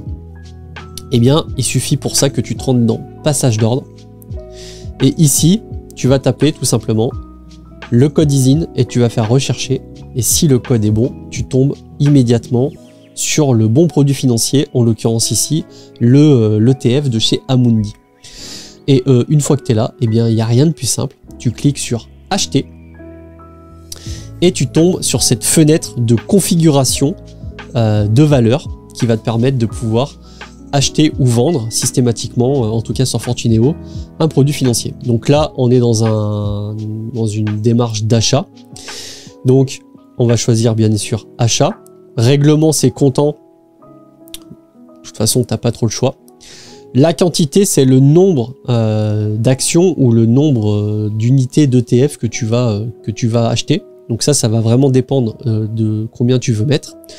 La validité, euh, jour, c'est que tu vas acheter euh, directement dans la journée, à la date du jour. Et le type d'ordre, alors là, le type d'ordre, tu as plusieurs types d'ordres possibles. Tu peux très bien dire, moi j'achète au prix. Là, le prix, à l'heure où je te parle, euh, on voit que ça se négocie aux alentours, allez, des 29 euros et quelques. Donc euh, si tu mets au cours, ça va automatiquement te faire une sélection et euh, très globalement, tu vas avoir une cotation à 29,85. C'est à peu près ça, 29,30. Mais tu peux aussi faire des plages de déclenchement, c'est-à-dire que euh, tu peux lancer des ordres en disant bah là le, l'ETF actuellement il est à 29,3 moi j'aimerais bien l'acheter à 28 eh bien tu peux tout simplement mettre une, plage de déclenchement d'ordre. C'est à dire que dès que l'ETF va passer les 28, instantanément ça va euh, acheter euh, la quantité souhaitée. Maintenant, il faut faire attention parce que tu peux très bien avoir un ETF qui ne descend jamais à 28 euros, euh, ou alors c'est peut-être dans 5 ans, et dans ce cas-là, ben, tu as un ordre en attente que tu peux bien sûr annuler. Mais le but en tout cas du DCA aujourd'hui et le but de la manœuvre aujourd'hui, c'est que je te montre concrètement comment on fait pour acheter. Et eh bien concrètement, dans type d'ordre, tu vas mettre au marché, c'est-à-dire que ça réfléchit pas, ça va acheter systématiquement euh, l'ETF en question au prix du marché. Si par exemple je mets une quantité de 10, eh bien tu peux voir que euh, l'estimation aujourd'hui se, fera à peu près à 298,58 euros. Et une fois que tu es là, donc tu as choisi si tu es en mode achat ou en mode vente, donc la achat, la quantité, aujourd'hui au 13,03, au prix du marché, c'est-à-dire 29 euros euh, et quelques. Et ensuite, il suffit simplement de cocher la case « Je reconnais avoir préalablement consulté le prix de la valeur Amundi, etc. » et cliquer sur « Acheter » de confirmer, je ne vais pas le faire là parce qu'on a un marché fermé et j'ai déjà passé mon ordre le début du mois, mais très concrètement, une fois que vous avez appuyé sur acheter, c'est fini, vous avez la ligne qui apparaît ici, avec les quantités. Donc là, il y en aura 10. Moi, vous voyez, j'en ai 643. Ça commence à être assez conséquent. Et ensuite, une fois qu'on est euh, sur ce tableau-là, eh bien, il, y a plusieurs, euh, il y a plusieurs données qui apparaissent. Il va y avoir la donnée du cours actuel, la variation par rapport à la veille. Donc là, on voit que l'ETF a pris un moins 2,35%, c'est énorme. La quantité d'unités qu'on possède, donc là, moi j'ai 643 unités d'ETF et j'ai 50 000 actions euh, de l'entreprise Visiomet Group. La valorisation, donc ça bah, c'est tout bête, hein, c'est la quantité multipliée par la, valeur au cours. Et euh, plus ou moins value au total sur la ligne. Donc là on voit que moi l'ETF je suis sur une moins-value de 1020,31 euros, ce qui correspond à moins 5,05%. Euh, et je ne m'inquiète pas, forcément les marchés baissent un peu, et puis là tu as vu que ça a pris moins 2,35, donc forcément ça, ça aide pas. Après, quand tu vas te connecter tous les mois sur ton, euh, sur ton PEA, eh bien, euh, tu vas avoir un virement qui va arriver sur ton compte courant, en tout cas pour Fortuneo. Euh, moi, on peut le voir ici, j'ai la ligne qui est arrivée le premier du virement de 500 euros que je fais et instantanément, j'ai fait le virement de 500 euros du compte courant vers mon PEA. Et pour ça, eh bien, simplement aller dans l'onglet virement et euh, bon, là, il y a une erreur, mais globalement, d'appuyer sur virement, et comme un virement traditionnel hein, dans une banque, et de virer 500 euros ou 100 euros, et bien directement du compte courant vers euh, le PEA. Il y a un truc qu'il faut savoir aussi, c'est que à chaque fois que vous passez un ordre, ça a un prix. C'est-à-dire que il y a une commission sur les frais de courtage. Chez Fortuneo, actuellement, donc euh, il faut choisir un profil. Lorsque tu passes des ordres Tu as quatre profils, comme tu peux le voir, Optimum, Trader actif, Trader sans ordre et zéro courtage. Moi, je suis sur le profil Optimum et tu peux voir que euh, le tarif, c'est 1,95€ l'ordre d'achat ou de vente euh, pour euh, tout ce qui concerne des sommes inférieures à 500 euros. Donc si tu as 499 euros, ça sera 1,95€. Par contre, entre 500 et 2000 euros, c'est 3,90€. Donc le but étant quand même d'essayer de réduire euh, au maximum les frais de courtage parce que sur la longue, ça peut représenter des sommes qui sont assez conséquentes. si tu passes un ordre d'une hauteur de 100 euros sur euh, n'importe quel type de d'ordre entre guillemets, eh bien à 1,95€, tu vas avoir 1,95% de ta somme de base qui passe instantanément en frais de courtage. Donc il faut vraiment essayer de réduire ça au maximum. Euh, finalement, 1,95€ sur 500 euros, on n'est plus qu'à 30 centimes à peu près le, passage d'ordre. Et là, c'est vraiment acceptable. Donc il faut faire attention. Et euh, si tu fais un DCA euh, comme moi, tu as normalement un seul ordre, peut-être deux maximum à passer dans le mois. Donc tu peux prendre le tarif optimum. après, tu as l'option zéro courtage. donc là, c'est pas mal. c'est vraiment à toi de voir ce qui en est, parce que là, tu vois, l'option zéro courtage, c'est que si jamais tu dois passer un ordre pour une raison quelconque, tu vas payer 20 euros. Ça commence à piquer un petit peu. Donc, à faire attention, les ordres de courtage, c'est euh, euh, important et il faut bien les prendre en compte. Et euh, une fois que tu as, une fois que as donc du coup ton PEA qui tourne, eh bien tu peux le regarder tous les jours si ça te fait plaisir, mais très concrètement, voilà, ça s'arrête là. Il n'y a rien de plus compliqué que ça. Pour, euh, pour acheter une action, suffit simplement de se rendre sur son PEA et d'aller dans l'onglet PEA, plan épargne action, qui est euh, un petit peu euh, un onglet qui diffère un peu de livret A, mais globalement, tu as compris, c'est la même chose. Et par contre, il faut bien aussi savoir une chose, c'est que si jamais tu décides de retirer ne serait-ce qu'un seul euro de ton PEA quand celui-ci n'a pas 5 ans, eh bien ça va instantanément te bloquer la fonctionnalité de pouvoir apporter de l'argent. Donc ça c'est très important, je le rappelle et je le répète. Quand tu as un PEA, euh, le but c'est vraiment de pouvoir l'alimenter, en tout cas c'est pour moi c'est ça, de l'alimenter sans jamais rien retirer dessus. Sinon, eh bien, je te conseillerais d'utiliser tout simplement le compte titre. Compte titre qui, chez moi, euh, est vide, comme tu peux le voir, puisque je ne l'utilise pas encore j'ai la stratégie de bloquer euh, mon PEA euh, parce que mine de rien passer de 30% de frais euh, de frais d'imposition à 17,2 eh ben, je trouve que c'est quand même intéressant et puis le temps d'avoir 150 000 euros d'ajouter dans le PEA ça commence, ça commence à faire, à faire pas mal. Voilà globalement en, en réel, en instantané, comment on fait pour passer à un ordre? Donc je pense que tu as toutes les en tout cas tu as toutes les clés. Et euh, si c'est pas euh, Fortuneo et si c'est un autre broker, eh bien c'est exactement euh, le même style de fenêtre que tu peux retrouver. J'ai fait une vidéo d'ailleurs de passage d'ordre sur Boursorama. Tu peux aller la voir si ça te fait plaisir. J'ai pas fait de vidéo sur tout le reste, sur Bourse Direct et compagnie. Mais très concrètement, ça sera toujours plus ou moins les mêmes renseignements que tu vas devoir donner lorsque tu décides de passer un ordre et d'acheter un produit financier. Et maintenant, on va pouvoir aborder la question de la stratégie clairement qu'est-ce que tu dois faire en bourse tout simplement pour arriver à générer eh bien de la performance, à générer un petit peu de l'argent? Parce que c'est vrai que quand tu démarres en bourse euh, et que tu n'as pas de stratégie, généralement tu n'as pas de stratégie quand tu démarres en bourse, sauf si tu as vraiment étudié le truc et que tu es méthodique et consciencieux. Mais euh, la majorité du temps, eh bien d'expérience, je sais que quand tu attaques la bourse, tu n'as pas forcément de stratégie.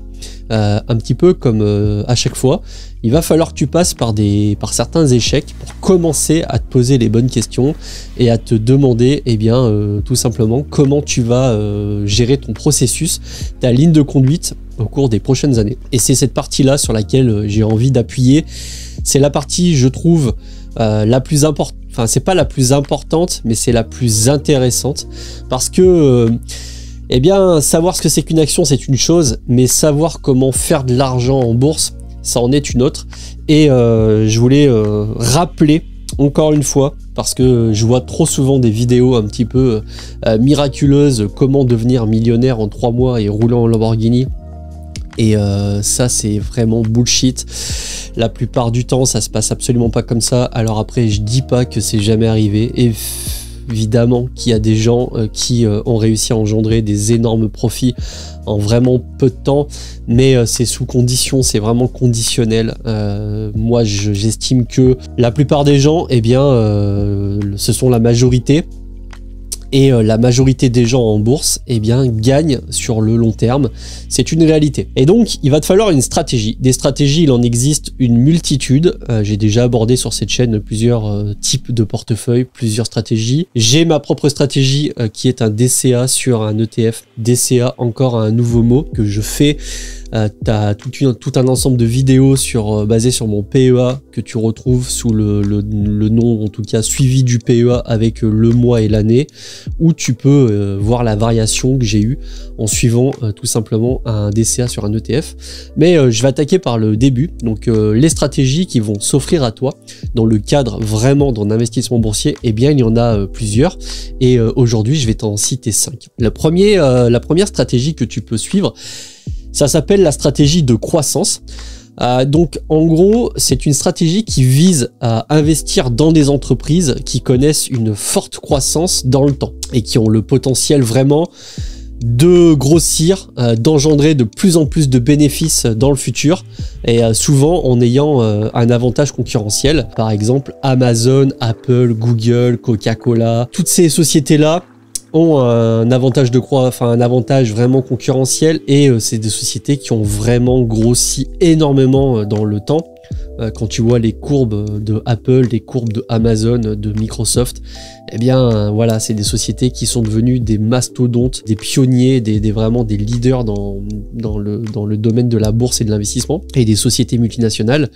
Maintenant, eh bien, tu pourrais tout de suite te dire, ça, ça a l'air d'être cool comment je repère euh, les sociétés euh, qui vont avoir une forte croissance Et là est toute la difficulté évidemment, parce que si c'était facile, ça se saurait, et si c'était facile, absolument tout le monde investirait dans ces entreprises-là. Il faut bien comprendre une chose, c'est que la bourse, c'est facile de faire de la bourse, c'est difficile de faire des bons résultats en bourse, et c'est extrêmement difficile de faire d'excellents résultats en bourse il faut bien se rappeler que euh, une notion, euh, par exemple, de performance, de bonne performance en bourse, eh bien, si on prend par exemple le S&P 500, et euh, tu te rappelles, je t'avais dit que 90-95% des investisseurs, particuliers comme professionnels, ne battaient pas l'indice de référence américain sur une échelle de temps de 20 ans, eh bien, cet indice-là fait en moyenne une performance d'entre 9,5 et 10% par an hors dividendes réinvestis. Du coup, eh bien, on peut avoir tout de suite ce référentiel-là euh, sur ce qu'est une bonne performance en bourse. Bien évidemment, tu as des fonds euh, comme Berkshire Hathaway qui depuis 50 ans ont une moyenne de 20% ou euh, le fonds de Peter Lynch, la Fidelity Magellan, qui a eu une performance de 29%. Ça, c'est vraiment du cas exceptionnel. Toi, faut bien que tu te fixes une référence. Si tu fais du 10% en moyenne en bourse pendant 25-30 ans, eh bien, comme tu peux le voir sur cette calculette d'intérêt composé, ça fait des performances absolument stratosphériques à partir du moment où euh, tu investis euh, régulièrement. Donc la stratégie de croissance en visant des entreprises en développement, euh, en devenir de grosses sociétés, c'est une des solutions. Maintenant, moi, c'est pas celle que j'ai adoptée à titre personnel, euh, mais, euh, mais voilà, tu trouveras tout un ensemble de portefeuilles type en ligne. Après, faut savoir, euh, faut savoir en qui tu vas faire confiance parce que des vidéos sur la bourse, au même titre que cette vidéo-là, eh bien, t'en as plein. Seul toi sauras si c'est des conseils entre guillemets, des indications fiables en fonction de tes propres recherches. C'est pour ça que je t'encourage vivement, avant de faire l'investissement, à toujours faire des recherches sur ce que tu fais, sur les portefeuilles, sur les indices. Renseigne-toi au maximum. Plus t'en sais, plus tu de bonnes performances. Et euh, comme le disait Warren Buffett, il est toujours stupéfait lorsqu'il s'aperçoit du temps qu'ont mis les investisseurs débutants à sélectionner euh, les sociétés dans lesquelles ils allaient investir. Généralement, ils prennent plus de temps au service euh, cosmétique pour euh, choisir une crème, une pommade ou alors pour choisir le dentifrice dont ils vont avoir besoin. Donc vraiment, renseigne-toi et fais pas n'importe quoi. Une autre stratégie que tu peux adopter, ça va être une stratégie ce qu'on appelle de valeur. Et cette stratégie, en réalité, elle consiste à trouver des sociétés qui sont sous-évaluées et qui normalement devraient voir leur cours boursier augmenter dans le temps. Alors, euh, moi, j'ai une société euh, comme ça dans mon portefeuille qui s'appelle Visiomed. Euh, donc, c'est une société, c'est globalement, c'est, je te la fais courte, c'est une medtech, une tech médicinale, pharmaceutique un peu, qui met à disposition des centres qui opèrent actuellement sur le secteur de Dubaï Abu Dhabi pour faire tout simplement des tests et des renouvellements de passeports, etc. Et je trouve, en tout cas, après avoir regardé un peu les vidéos au sujet de cette société, après avoir regardé des, des fiches, les statistiques, les résultats de société et le plan prévisionnel à moyen et court terme de la société, eh bien c'est vrai que j'ai décidé de me positionner dessus parce que je trouve que cette société est sous-évaluée et euh, que euh, dans un futur plus ou moins proche, eh bien celle-ci, euh, enfin je l'espère, sera de, avec une capitalisation boursière bien plus importante qu'aujourd'hui et par conséquent, eh bien les 50 000 actions que je détiens dans cette société-là vont me rapporter de l'argent. Donc vraiment, les stratégies de valeur, c'est ça, c'est dénicher des actions euh, de sociétés qui euh, sont ou qui ont l'air d'être sous-cotées euh, en bourse. Alors pour ça, il y a plusieurs moyens de les trouver, à savoir que sur Internet, même en version gratuite, c'est-à-dire sans avoir de logiciel payant tel que peut l'être un terminal Bloomberg ou ce genre de truc, tu peux quand même trouver tout un ensemble de données qui peuvent te faire prendre ou pas les bonnes ou mauvaises décisions. Donc n'hésite pas quand tu veux investir dans une société parce que tu penses qu'elle est sous-cotée, eh bien faut pas hésiter à vraiment tout regarder et euh, évidemment comme tout domaine ça passe par une formation personnelle afin de, savoir quoi regarder, où regarder et comment interpréter ces chiffres. Une autre stratégie euh, qui est une stratégie euh, bon, dans laquelle on entend, a pas mal, pas mal entendu parler, il y a beaucoup de portefeuilles là-dessus, c'est bien sûr la stratégie à portefeuille à dividende. Dividendes, je le rappelle, qui sont euh, globalement des participations bénéfices qui sont reversées aux actionnaires en fonction euh, tout simplement du nombre de parts, du nombre d'actions que tu as dans la société. Euh, donc pour ça, eh bien, faut trouver des sociétés qui versent des dividendes de manière continue et si possible, qui versent des dividendes qui sont de plus en plus gros par rapport à l'année précédente. Il y a plein de sociétés comme ça. il y a des portefeuilles type dividendes que tu retrouves en ligne sans problème. Euh, tu as des listes de sociétés complètes euh, qui montrent en fait quel est le dividende reversé par rapport à l'action et donc quel est le rendement euh, dividende action annuel. Donc ça, tu as tout ça en ligne. Maintenant, c'est vrai que je dirais que une des particularités de ce portefeuille, c'est que c'est pas parce qu'une société t'a versé des dividendes au cours des dix dernières années que ça va forcément être le cas. Euh, l'année prochaine. Tu peux avoir des sociétés qui ont malheureusement passé une mauvaise année euh, à cause d'un incident, d'un événement, euh, un black swan, un signe noir comme on dit, à titre d'exemple Covid voilà, le Covid se pointe, c'est pas prévu dans l'économie, euh, on ferme tout et euh, on se retrouve avec un crack boursier assez conséquent, des sociétés qui sont totalement à l'arrêt.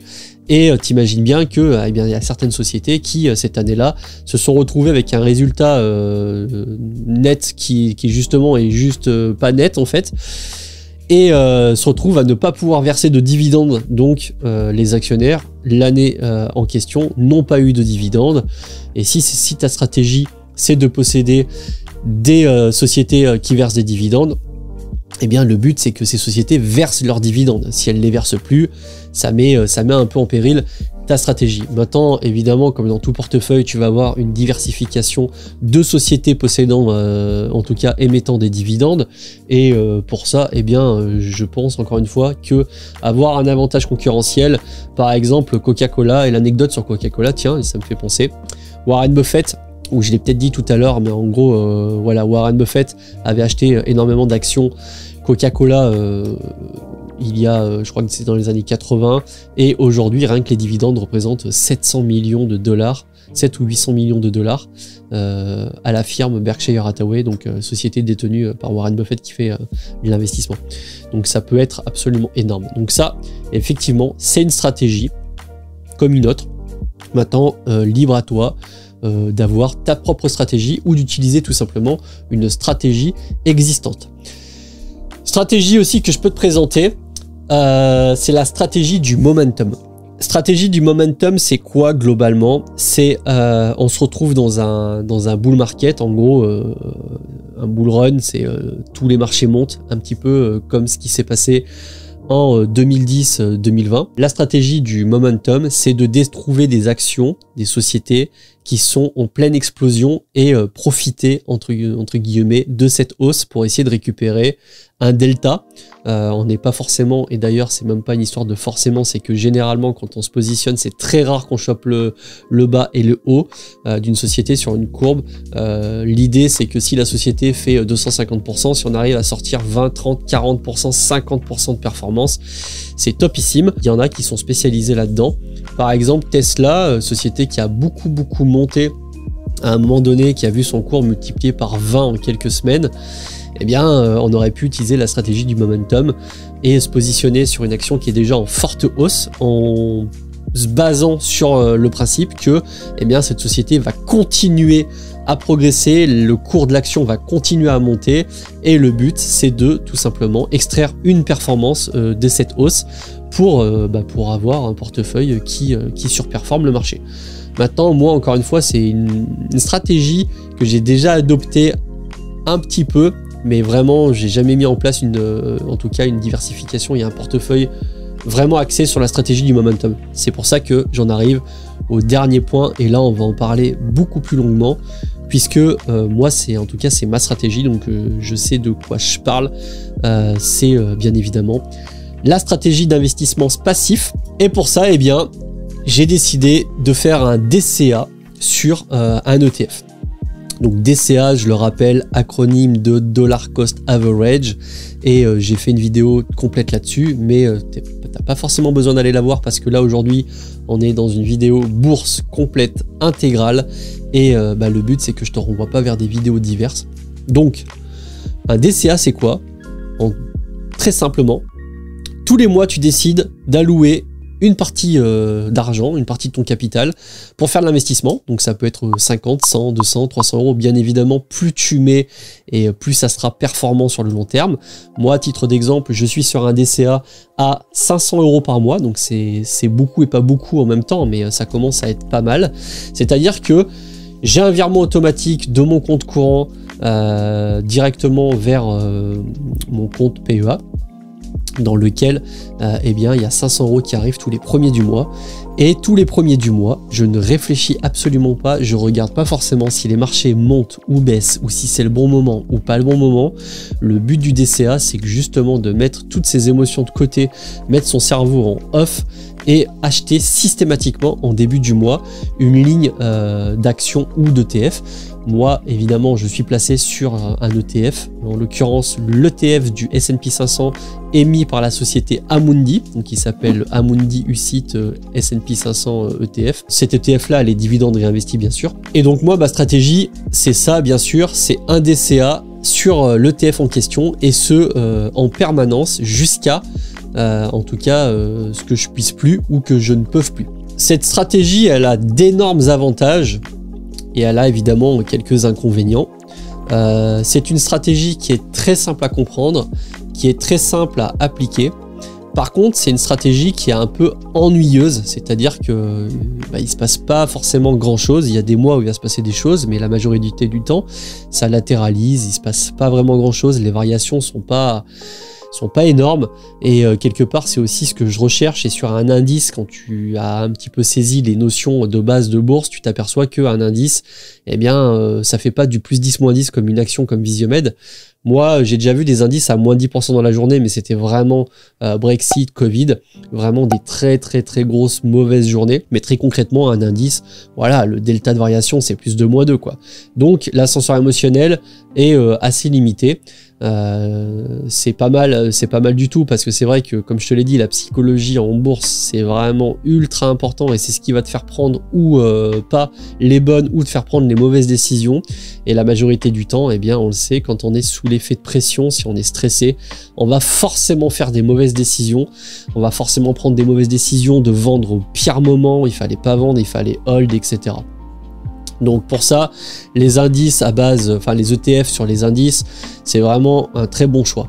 Et je te dirais même plus, pose-toi une question par rapport à cette stratégie-là, parce que comme je te l'ai dit, euh, un DCA sur en tout cas un ETF du S&P 500, il y a des études qui ont montré que eh bien sur une échelle de temps de 20 ans, encore une fois, 95% des, des, investisseurs, des, portefeuilles institutionnels et particuliers sous-performent le marché.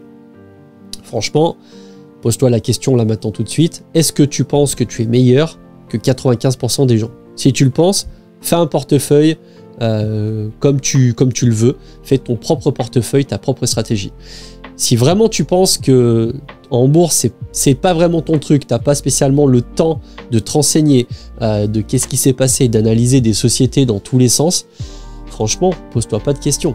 T'es débutant, t'as pas trop de notions, t'as pas trop de temps, tu veux ça en fil rouge et avoir une base d'investissement plutôt solide, fais du DCA sur un ETF.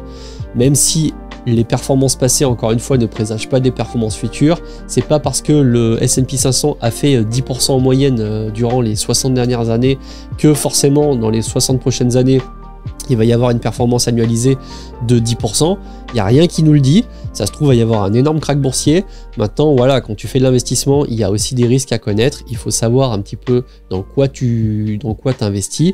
La bourse, c'est risqué. Maintenant, avec des stratégies et en se basant sur du long terme, tu verras quand même que tu réduis énormément le risque. Et c'est pour ça que je fais cette vidéo.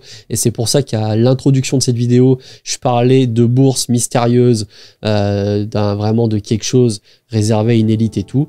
Pas du tout tu peux très bien obtenir de bonnes performances avec euh, un DCA sur un indice. Et d'ailleurs, j'ai mis euh, plusieurs fois en avant une vidéo sur ma chaîne euh, que tu as déjà dû voir si jamais tu regardes mes vidéos. c'est une comparaison qui a été faite, en tout cas sous forme de graphique vidéo par un petit YouTuber. Donc je remettrai évidemment le lien de la vidéo en description, mais je te mets des extraits pendant que je te parle, où tu as trois personnes qui utilisent une stratégie sur un ETF euh, du S&P 500, à la différence que le premier fait ce qu'on appelle une économie euh, jusqu'à pouvoir investir parce qu'il pense que c'est le bon moment et on le place dans une situation au cours des 40 dernières années où systématiquement il investit le meilleur jour, c'est-à-dire qu'en gros il y a un énorme crack boursier et il va commencer à investir euh, le jour où le marché est le plus bas. Ça, c'est l'investisseur numéro 1. Donc, il fait tout le temps ça. Il économise, il économise. Il y a un crack, il balance tout l'argent qu'il a économisé euh, sur le marché le plus bas. Et il fait ça 5 euh, fois, il me semble, parce que durant les 40 ans, il y a 5 gros cracks. La personne B, elle, va faire la même chose à la différence que au lieu d'investir euh, au, meilleur moment, eh bien elle, se trompe totalement et elle investit systématiquement au pire moment, c'est-à-dire vraiment à la journée où euh, les marchés sont les plus hauts et avant que ça s'écrase. Et la personne euh, numéro 3, elle, ne se pose pas de questions, n'économise pas, fait un DCA, donc tous les premiers du mois vire 200 euros et investit systématiquement sur la ligne indicielle de l'ETF du S&P 500 sans jamais vraiment regarder ce qui se passe.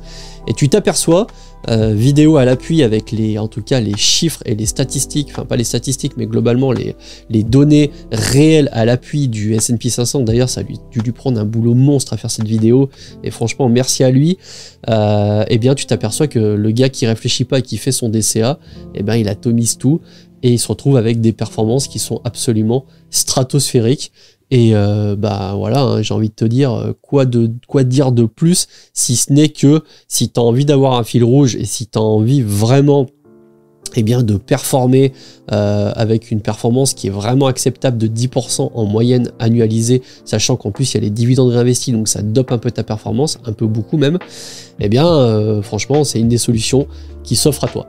Maintenant, voilà, il y a aussi des portefeuilles annexes. Euh, là, j'étais sur les stratégies, les 5 stratégies que je t'ai présentées, mais tu peux très bien avoir des portefeuilles annexes. J'en ai fait aussi des vidéos. En tout cas, j'ai fait une vidéo jusqu'à maintenant du portefeuille de Charles Gave, qui est un mélange d'actions françaises, d'obligations d'or semble qu'il n'y a plus beaucoup d'obligations dans son portefeuille, qui euh, a des bonnes performances. Euh, ça, euh, voilà, c'est aussi des portefeuilles qui existent. Encore une fois, l'avantage en bourse, c'est que chacun est libre de faire ce que tu veux. En fait, tu es dans un immense univers de la finance et il y a des produits dans tous les sens qui s'échangent. Il y a une énorme masse monétaire et toi, bah, ton but, c'est d'arriver à récupérer et de rediriger un peu ces flux eh bien chez toi pour récupérer une performance. Et tu peux avoir aussi une stratégie que j'ai pas citée, une stratégie sur option avec des puts et des calls. Et euh, là-dessus, bon, je suis pas, je suis pas expert, j'ai pas mal regardé. Maintenant, j'ai pas pratiqué à titre personnel, mais euh, j'ai bien compris comment ça marche. Je pense que ça, c'est le niveau, le next level, quand tu commences quand même à être un petit peu plus initié et que tu as envie d'aller plus loin. Et euh, aujourd'hui, eh bien, euh, c'est pas vraiment le cas. La vidéo est quand même destinée à un public qui n'y connaît soit rien, soit qui débute, soit de niveau vraiment débutant et qui a envie de se rassurer ou peut-être d'avoir des infos au travers de cette vidéo. C'est pour ça qu'on ne rentrera pas dans le détail. Mais euh, en tout cas, voilà. Des stratégies, euh, tu en as là, je t'en ai donné, je t'en ai donné 5-6. N'hésite pas, vraiment, il faut que tu aies une stratégie. Euh, moi, si tu regardes la vidéo du suivi de mon PEA, tu t'aperçois que j'ai un mesuré découpé, c'est-à-dire que j'ai des tableaux avec la prise de valeur pour savoir un petit peu combien j'ai mis, où j'en suis. Je te conseille vivement de le faire. Fais-toi un tableau, marque ce que tu achètes, marque ce que tu vends, redate ça, marque la date d'achat, la date de vente, le bénéfice, etc. Ça te servira, ça te sert à savoir déjà, par exemple, à où t'en es euh, sur ton apport par rapport aux 150 000 ou 225 000 euros que tu dois injecter dans ton PEA si tu fais de l'investissement au travers d'un PEA. Fais-le, c'est important. Et puis ça te permet aussi, euh, bah, quand tu as envie de voir un peu euh, ce qui s'était passé par exemple en 2021, eh bien tu peux tout simplement jeter un coup d'œil et te dire ah ouais c'est vrai que ce mois-ci ça a bien tourné. Euh, j'ai fait, euh, fait 5-6% dans le mois, ce qui est une grosse performance au final, même si, euh, bah, effectivement, 6% sur 100 euros, ça fait que 6 euros. Mais c'est petit à petit qu'on construit un patrimoine plutôt conséquent.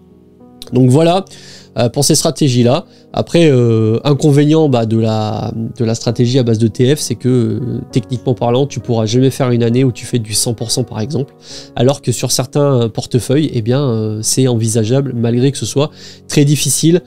Donc vraiment, gros, gros warning il faut que tu arrives à euh, savoir ce qui est réalisable ou pas. Et euh, faut pas que tu te dises que la bourse, ça va te rendre forcément ultra riche et euh, surtout en peu de temps. C'est pas le cas. Par contre, ce qui est sûr, c'est que sur une échelle de temps, sur du long terme, vraiment, ça va te donner des, des performances qui sont incroyables. Et maintenant, j'aimerais te donner quand même des conseils, même si je déteste ce terme-là, mais globalement, voilà, c'est une réalité.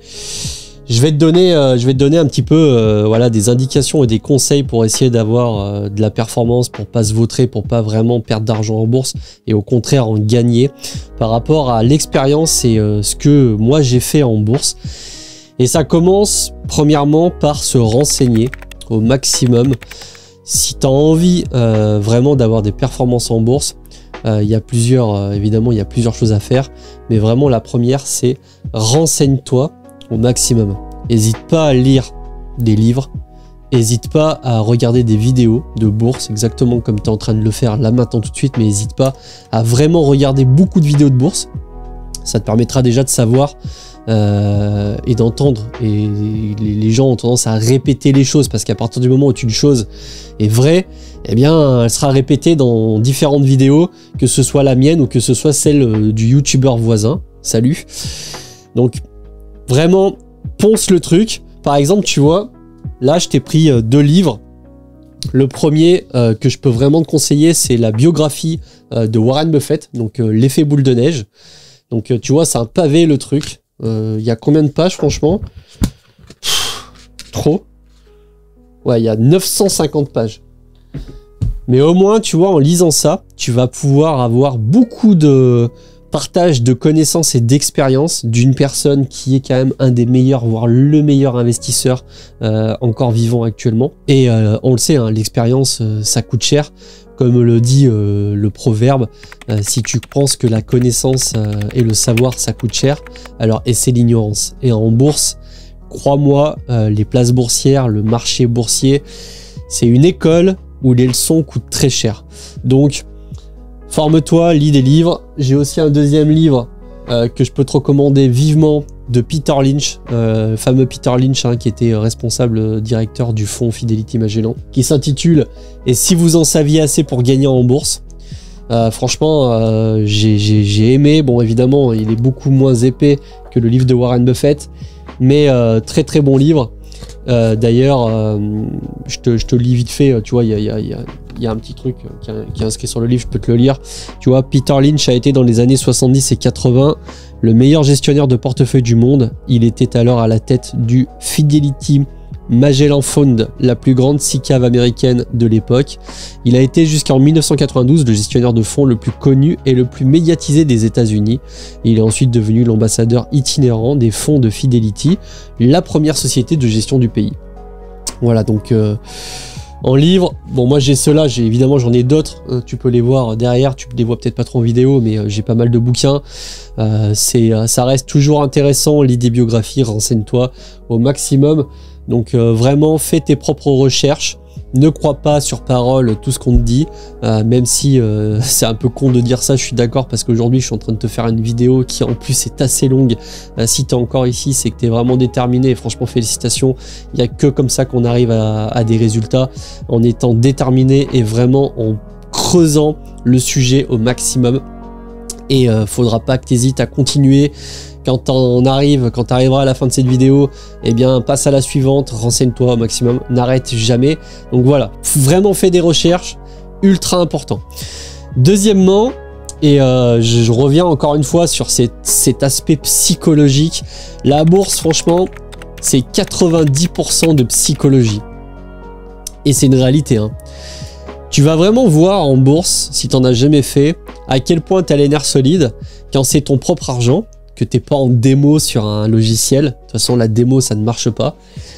Que tu es vraiment avec du vrai argent que tu as viré, tu as travaillé dur pour l'avoir et euh, que tu commences à avoir euh, des marchés euh, boursiers qui commencent à se casser la gueule, une crise et que ton portefeuille, eh ben, au début du mois, il valait 5000 euros et puis là, en l'espace de 3 jours, il est passé de 5000 à 4000 euros moins value latente de 1000 euros, alors que le salaire, euh, on va dire, moyen en France, est, je sais pas, 1500, 1600 euros, tu commences à te faire du souci.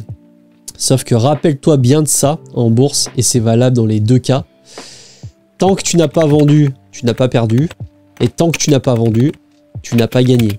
C'est-à-dire que la plus-value ou la moins-value latente, par définition, elle est latente et pas sécurisée tant que tu n'as pas vendu. Maintenant, ça sert à rien de s'obstiner, euh, surtout sur des euh, actions individuelles par exemple, parce que tu te retrouves à moins 70% et euh, absolument de vouloir la garder, garder, garder. C'est sous condition, il faut regarder un petit peu ce que, ce que dit la société, est-ce qu'elle est vraiment en perdition ou pas, est-ce que ça vaut le coup que tu renforces tes positions ou pas pour lisser ton PRU, le prix de revient unitaire? Là-dessus, eh bien, il faut, faut faire ses devoirs, comme on dit. Il faut s'enseigner sur la société, Maintenant, sur des indices, euh, étant donné qu'il n'y a aucun risque que l'indice coule, parce que si le S&P 500 euh, coule, euh, entre guillemets, qu'il arrive à zéro, en fait, c'est que tu es déjà mort depuis un petit moment, parce que ça voudrait dire que ça serait la troisième guerre mondiale et on serait tous en train de décéder les uns après les autres à coup de bombe nucléaire. Donc l'indice ne peut pas couler. vraiment, rappelle-toi de ça. C'est-à-dire que même si ça baisse, c'est pas grave. Il faut que tu sois solide euh, là-dessus euh, psychologiquement. Quand ça baisse, ne stresse pas. Le pire truc à faire, c'est de commencer à stresser et à prendre des décisions euh, sous l'effet de l'ascenseur émotionnel, des décisions émotionnelles qui seront la majorité du temps de mauvaises décisions. Rappelle-toi ce que je t'ai dit au début de la vidéo. Bah, d'ailleurs, Peter Lynch, qui gérait le fonds Fidelity Magellan, meilleure performance mondiale du fonds sur quasiment une quinzaine d'années, quasiment 30% de performance annualisée, c'est astronomique et malgré tout, eh bien, il y a beaucoup de gens qui ont perdu euh, de l'argent dans ce fonds-là.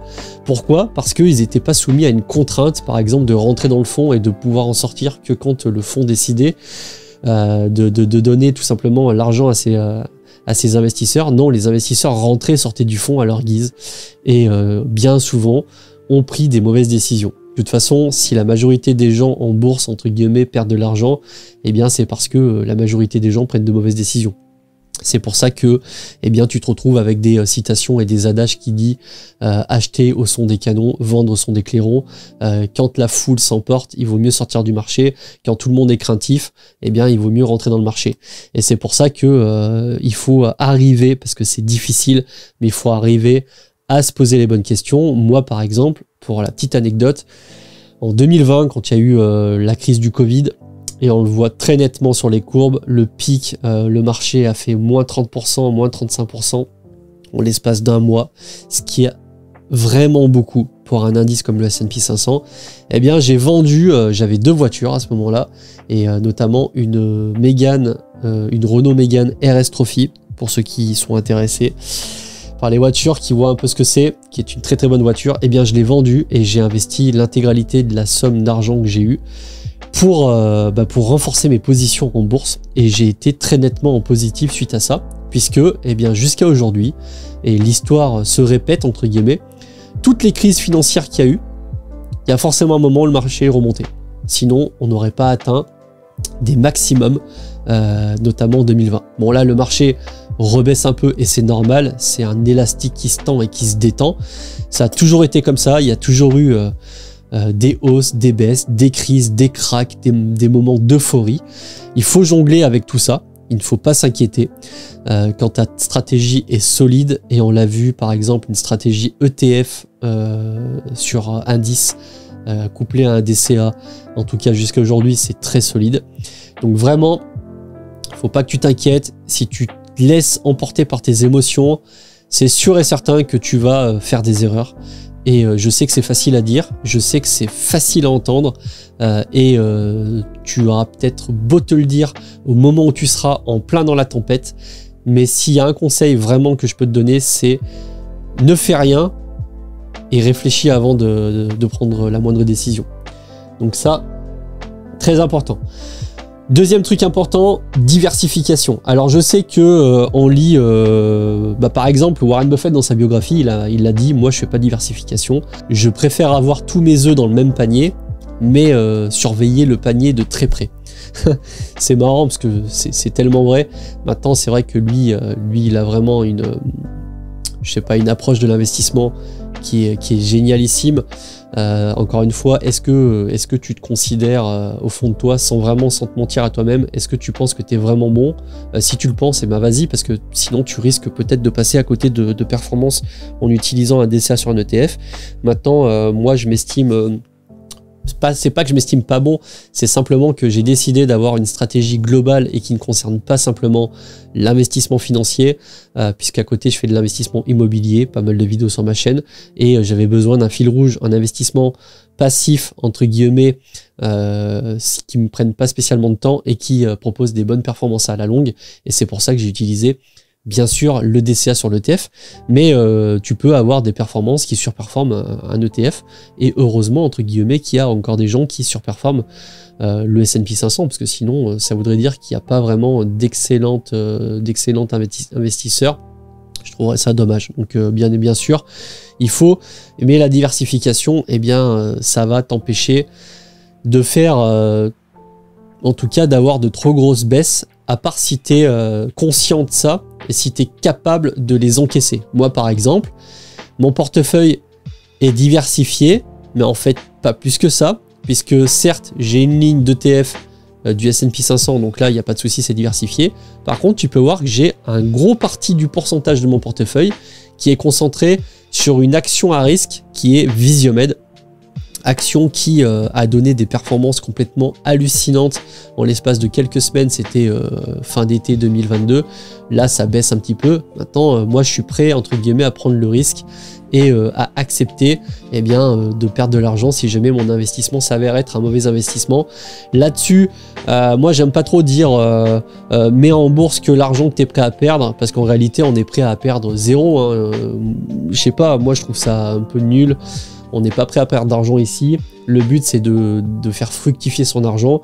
Mais je te dirais, mais vraiment de l'argent dont, dont tu n'as pas besoin à l'instant T c'est important parce que si jamais tu es encore une fois soumis à une pression psychologique du ah là là, c'est avec cet argent-là que j'avais prévu de faire ça ou d'acheter ça, etc.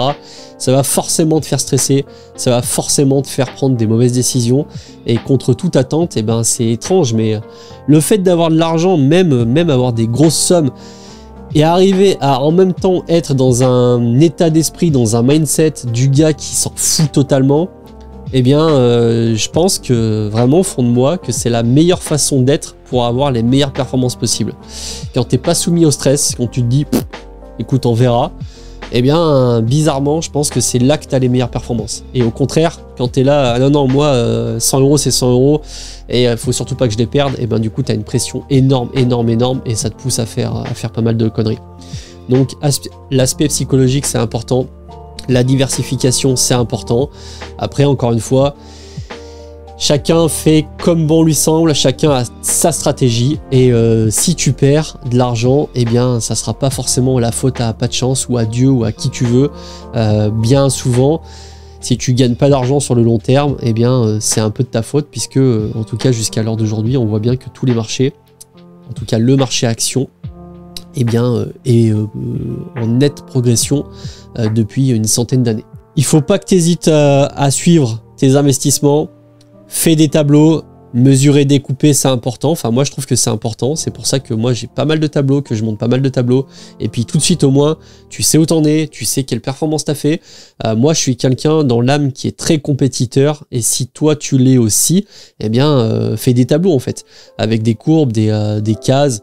Tu vas pouvoir savoir si telle année, dans 10 ans, tu te diras, tiens, oui, c'est vrai que 2000, 2021, eh bien, j'ai surperformé le marché, je me suis bien débrouillé. Ça permet de se rappeler parce que même si tu t'en rappelles à l'instant T, tu t'en rappelleras peut-être pas forcément d'ici 20 ans. Et on le sait, à chaque fois qu'on mesure quelque chose, ça a tendance à s'améliorer. Le fait de mesurer quelque chose, euh, c'est comme, euh, c'est je sais pas, euh, tu fais du sport, tu t'entraînes à battre ton propre record aux 100 mètres. Le fait de le mesurer au chronomètre, eh bien, tu vas quand même avoir plus tendance à t'améliorer que si tu n'as pas tout simplement de référentiel de mesure. Exactement comme si tu fais de la musculation et que tu ne te pèses pas. À part tes performances euh, sous le banc de développé couché, et encore tu peux avoir des meilleures performances tout en étant un peu moins lourd. Mais le fait de mesurer, eh bien euh, systématiquement, et ça a été prouvé euh, pas mal de fois, ça force et ça tend vers l'amélioration. Donc moi je te conseille, fais des tableaux, marque tout, tout, c'est simple, tout ce que tu fais, et au moins, au pire, tu perdras du temps et tu te diras bon bah ça m'a finalement ça m'a servi à rien.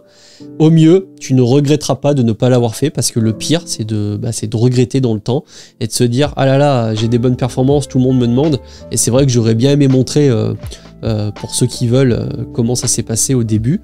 Eh bien tu ne peux pas. Et moi bah, je le fais. Je propose la vidéo du suivi de mon PEA que je fais mensuellement afin que toi eh bien, qui regarde, tu puisses euh, avoir une idée concrète de ce qui se passe sur euh, tout simplement mon plan et plan d'action. Et je te montre au moins que j'applique ce que je dis et euh, que, voilà, que j'applique ce que je dis.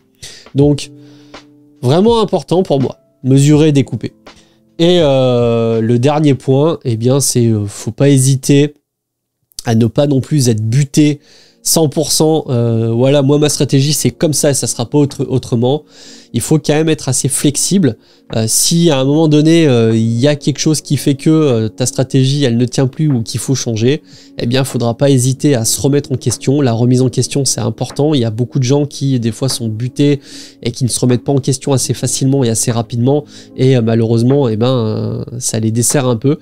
Donc vraiment voilà, il faut faut pas hésiter à suivre ses investissements, à quand même se tenir au courant. C'est pas parce que euh, tu fais un DCA que faut pas forcément se tenir au courant. L'avantage c'est que tu n'es pas obligé. Maintenant, encore une fois, euh, plus t'en sais et euh, plus tu vas loin et moins tu fais de conneries et plus tu es conscient de pas mal de choses. Donc globalement, dans cette vidéo, je pense que là maintenant tu as la base pour pouvoir investir. Tu as vu en live comment on fait, comment ça se passe. T'es prêt, euh, es prêt tout simplement à, pouvoir acheter tes premières actions et félicitations. N'hésite pas à revenir vers moi euh, pour me dire euh, un petit peu la sensation que ça fait parce que c'est vrai que moi les premières, les premières actions que j'ai achetées, ah, t'as l'impression de jouer un peu dans la cour des grands. Tu te dis, je fais partie, voilà, je fais partie un peu de l'élite et tout, alors qu'en vrai pas du tout. C'est simplement que c'est vrai que la bourse pour la majorité des gens, c'est un marché obscur, c'est super craignos, euh, tu, peux, tu peux faire de l'argent, mais tu peux perdre beaucoup d'argent, ce qui est vrai, hein, c'est totalement vrai. Mais euh, comme tu as pu le voir, avec des stratégies simples et euh, en visant le long terme, c'est ça, le, ça le secret, viser le long terme doucement mais sûrement, eh bien tu peux quand même arriver à avoir de sacrées performances, et je l'espère. Eh bien te, donner la vie, euh, la vie rêvée que, tu souhaites avec la liberté de pouvoir t'acheter, de pouvoir voyager comme tu le veux. Voilà, j'espère que tu as kiffé cette vidéo. N'hésite pas à me le faire savoir en t'abonnant à cette chaîne, en mettant un pouce bleu, en laissant un commentaire. Moi, je te souhaite une bonne fin de journée et euh, je ferai la même chose euh, bientôt pour l'immobilier. Ça sera peut-être un peu plus long, mais j'estime que pour, pour avoir une base, il faut quand même avoir une vidéo qui tienne la route. Et j'espère que c'est le cas. Je te souhaite une bonne fin de journée. Salut les bros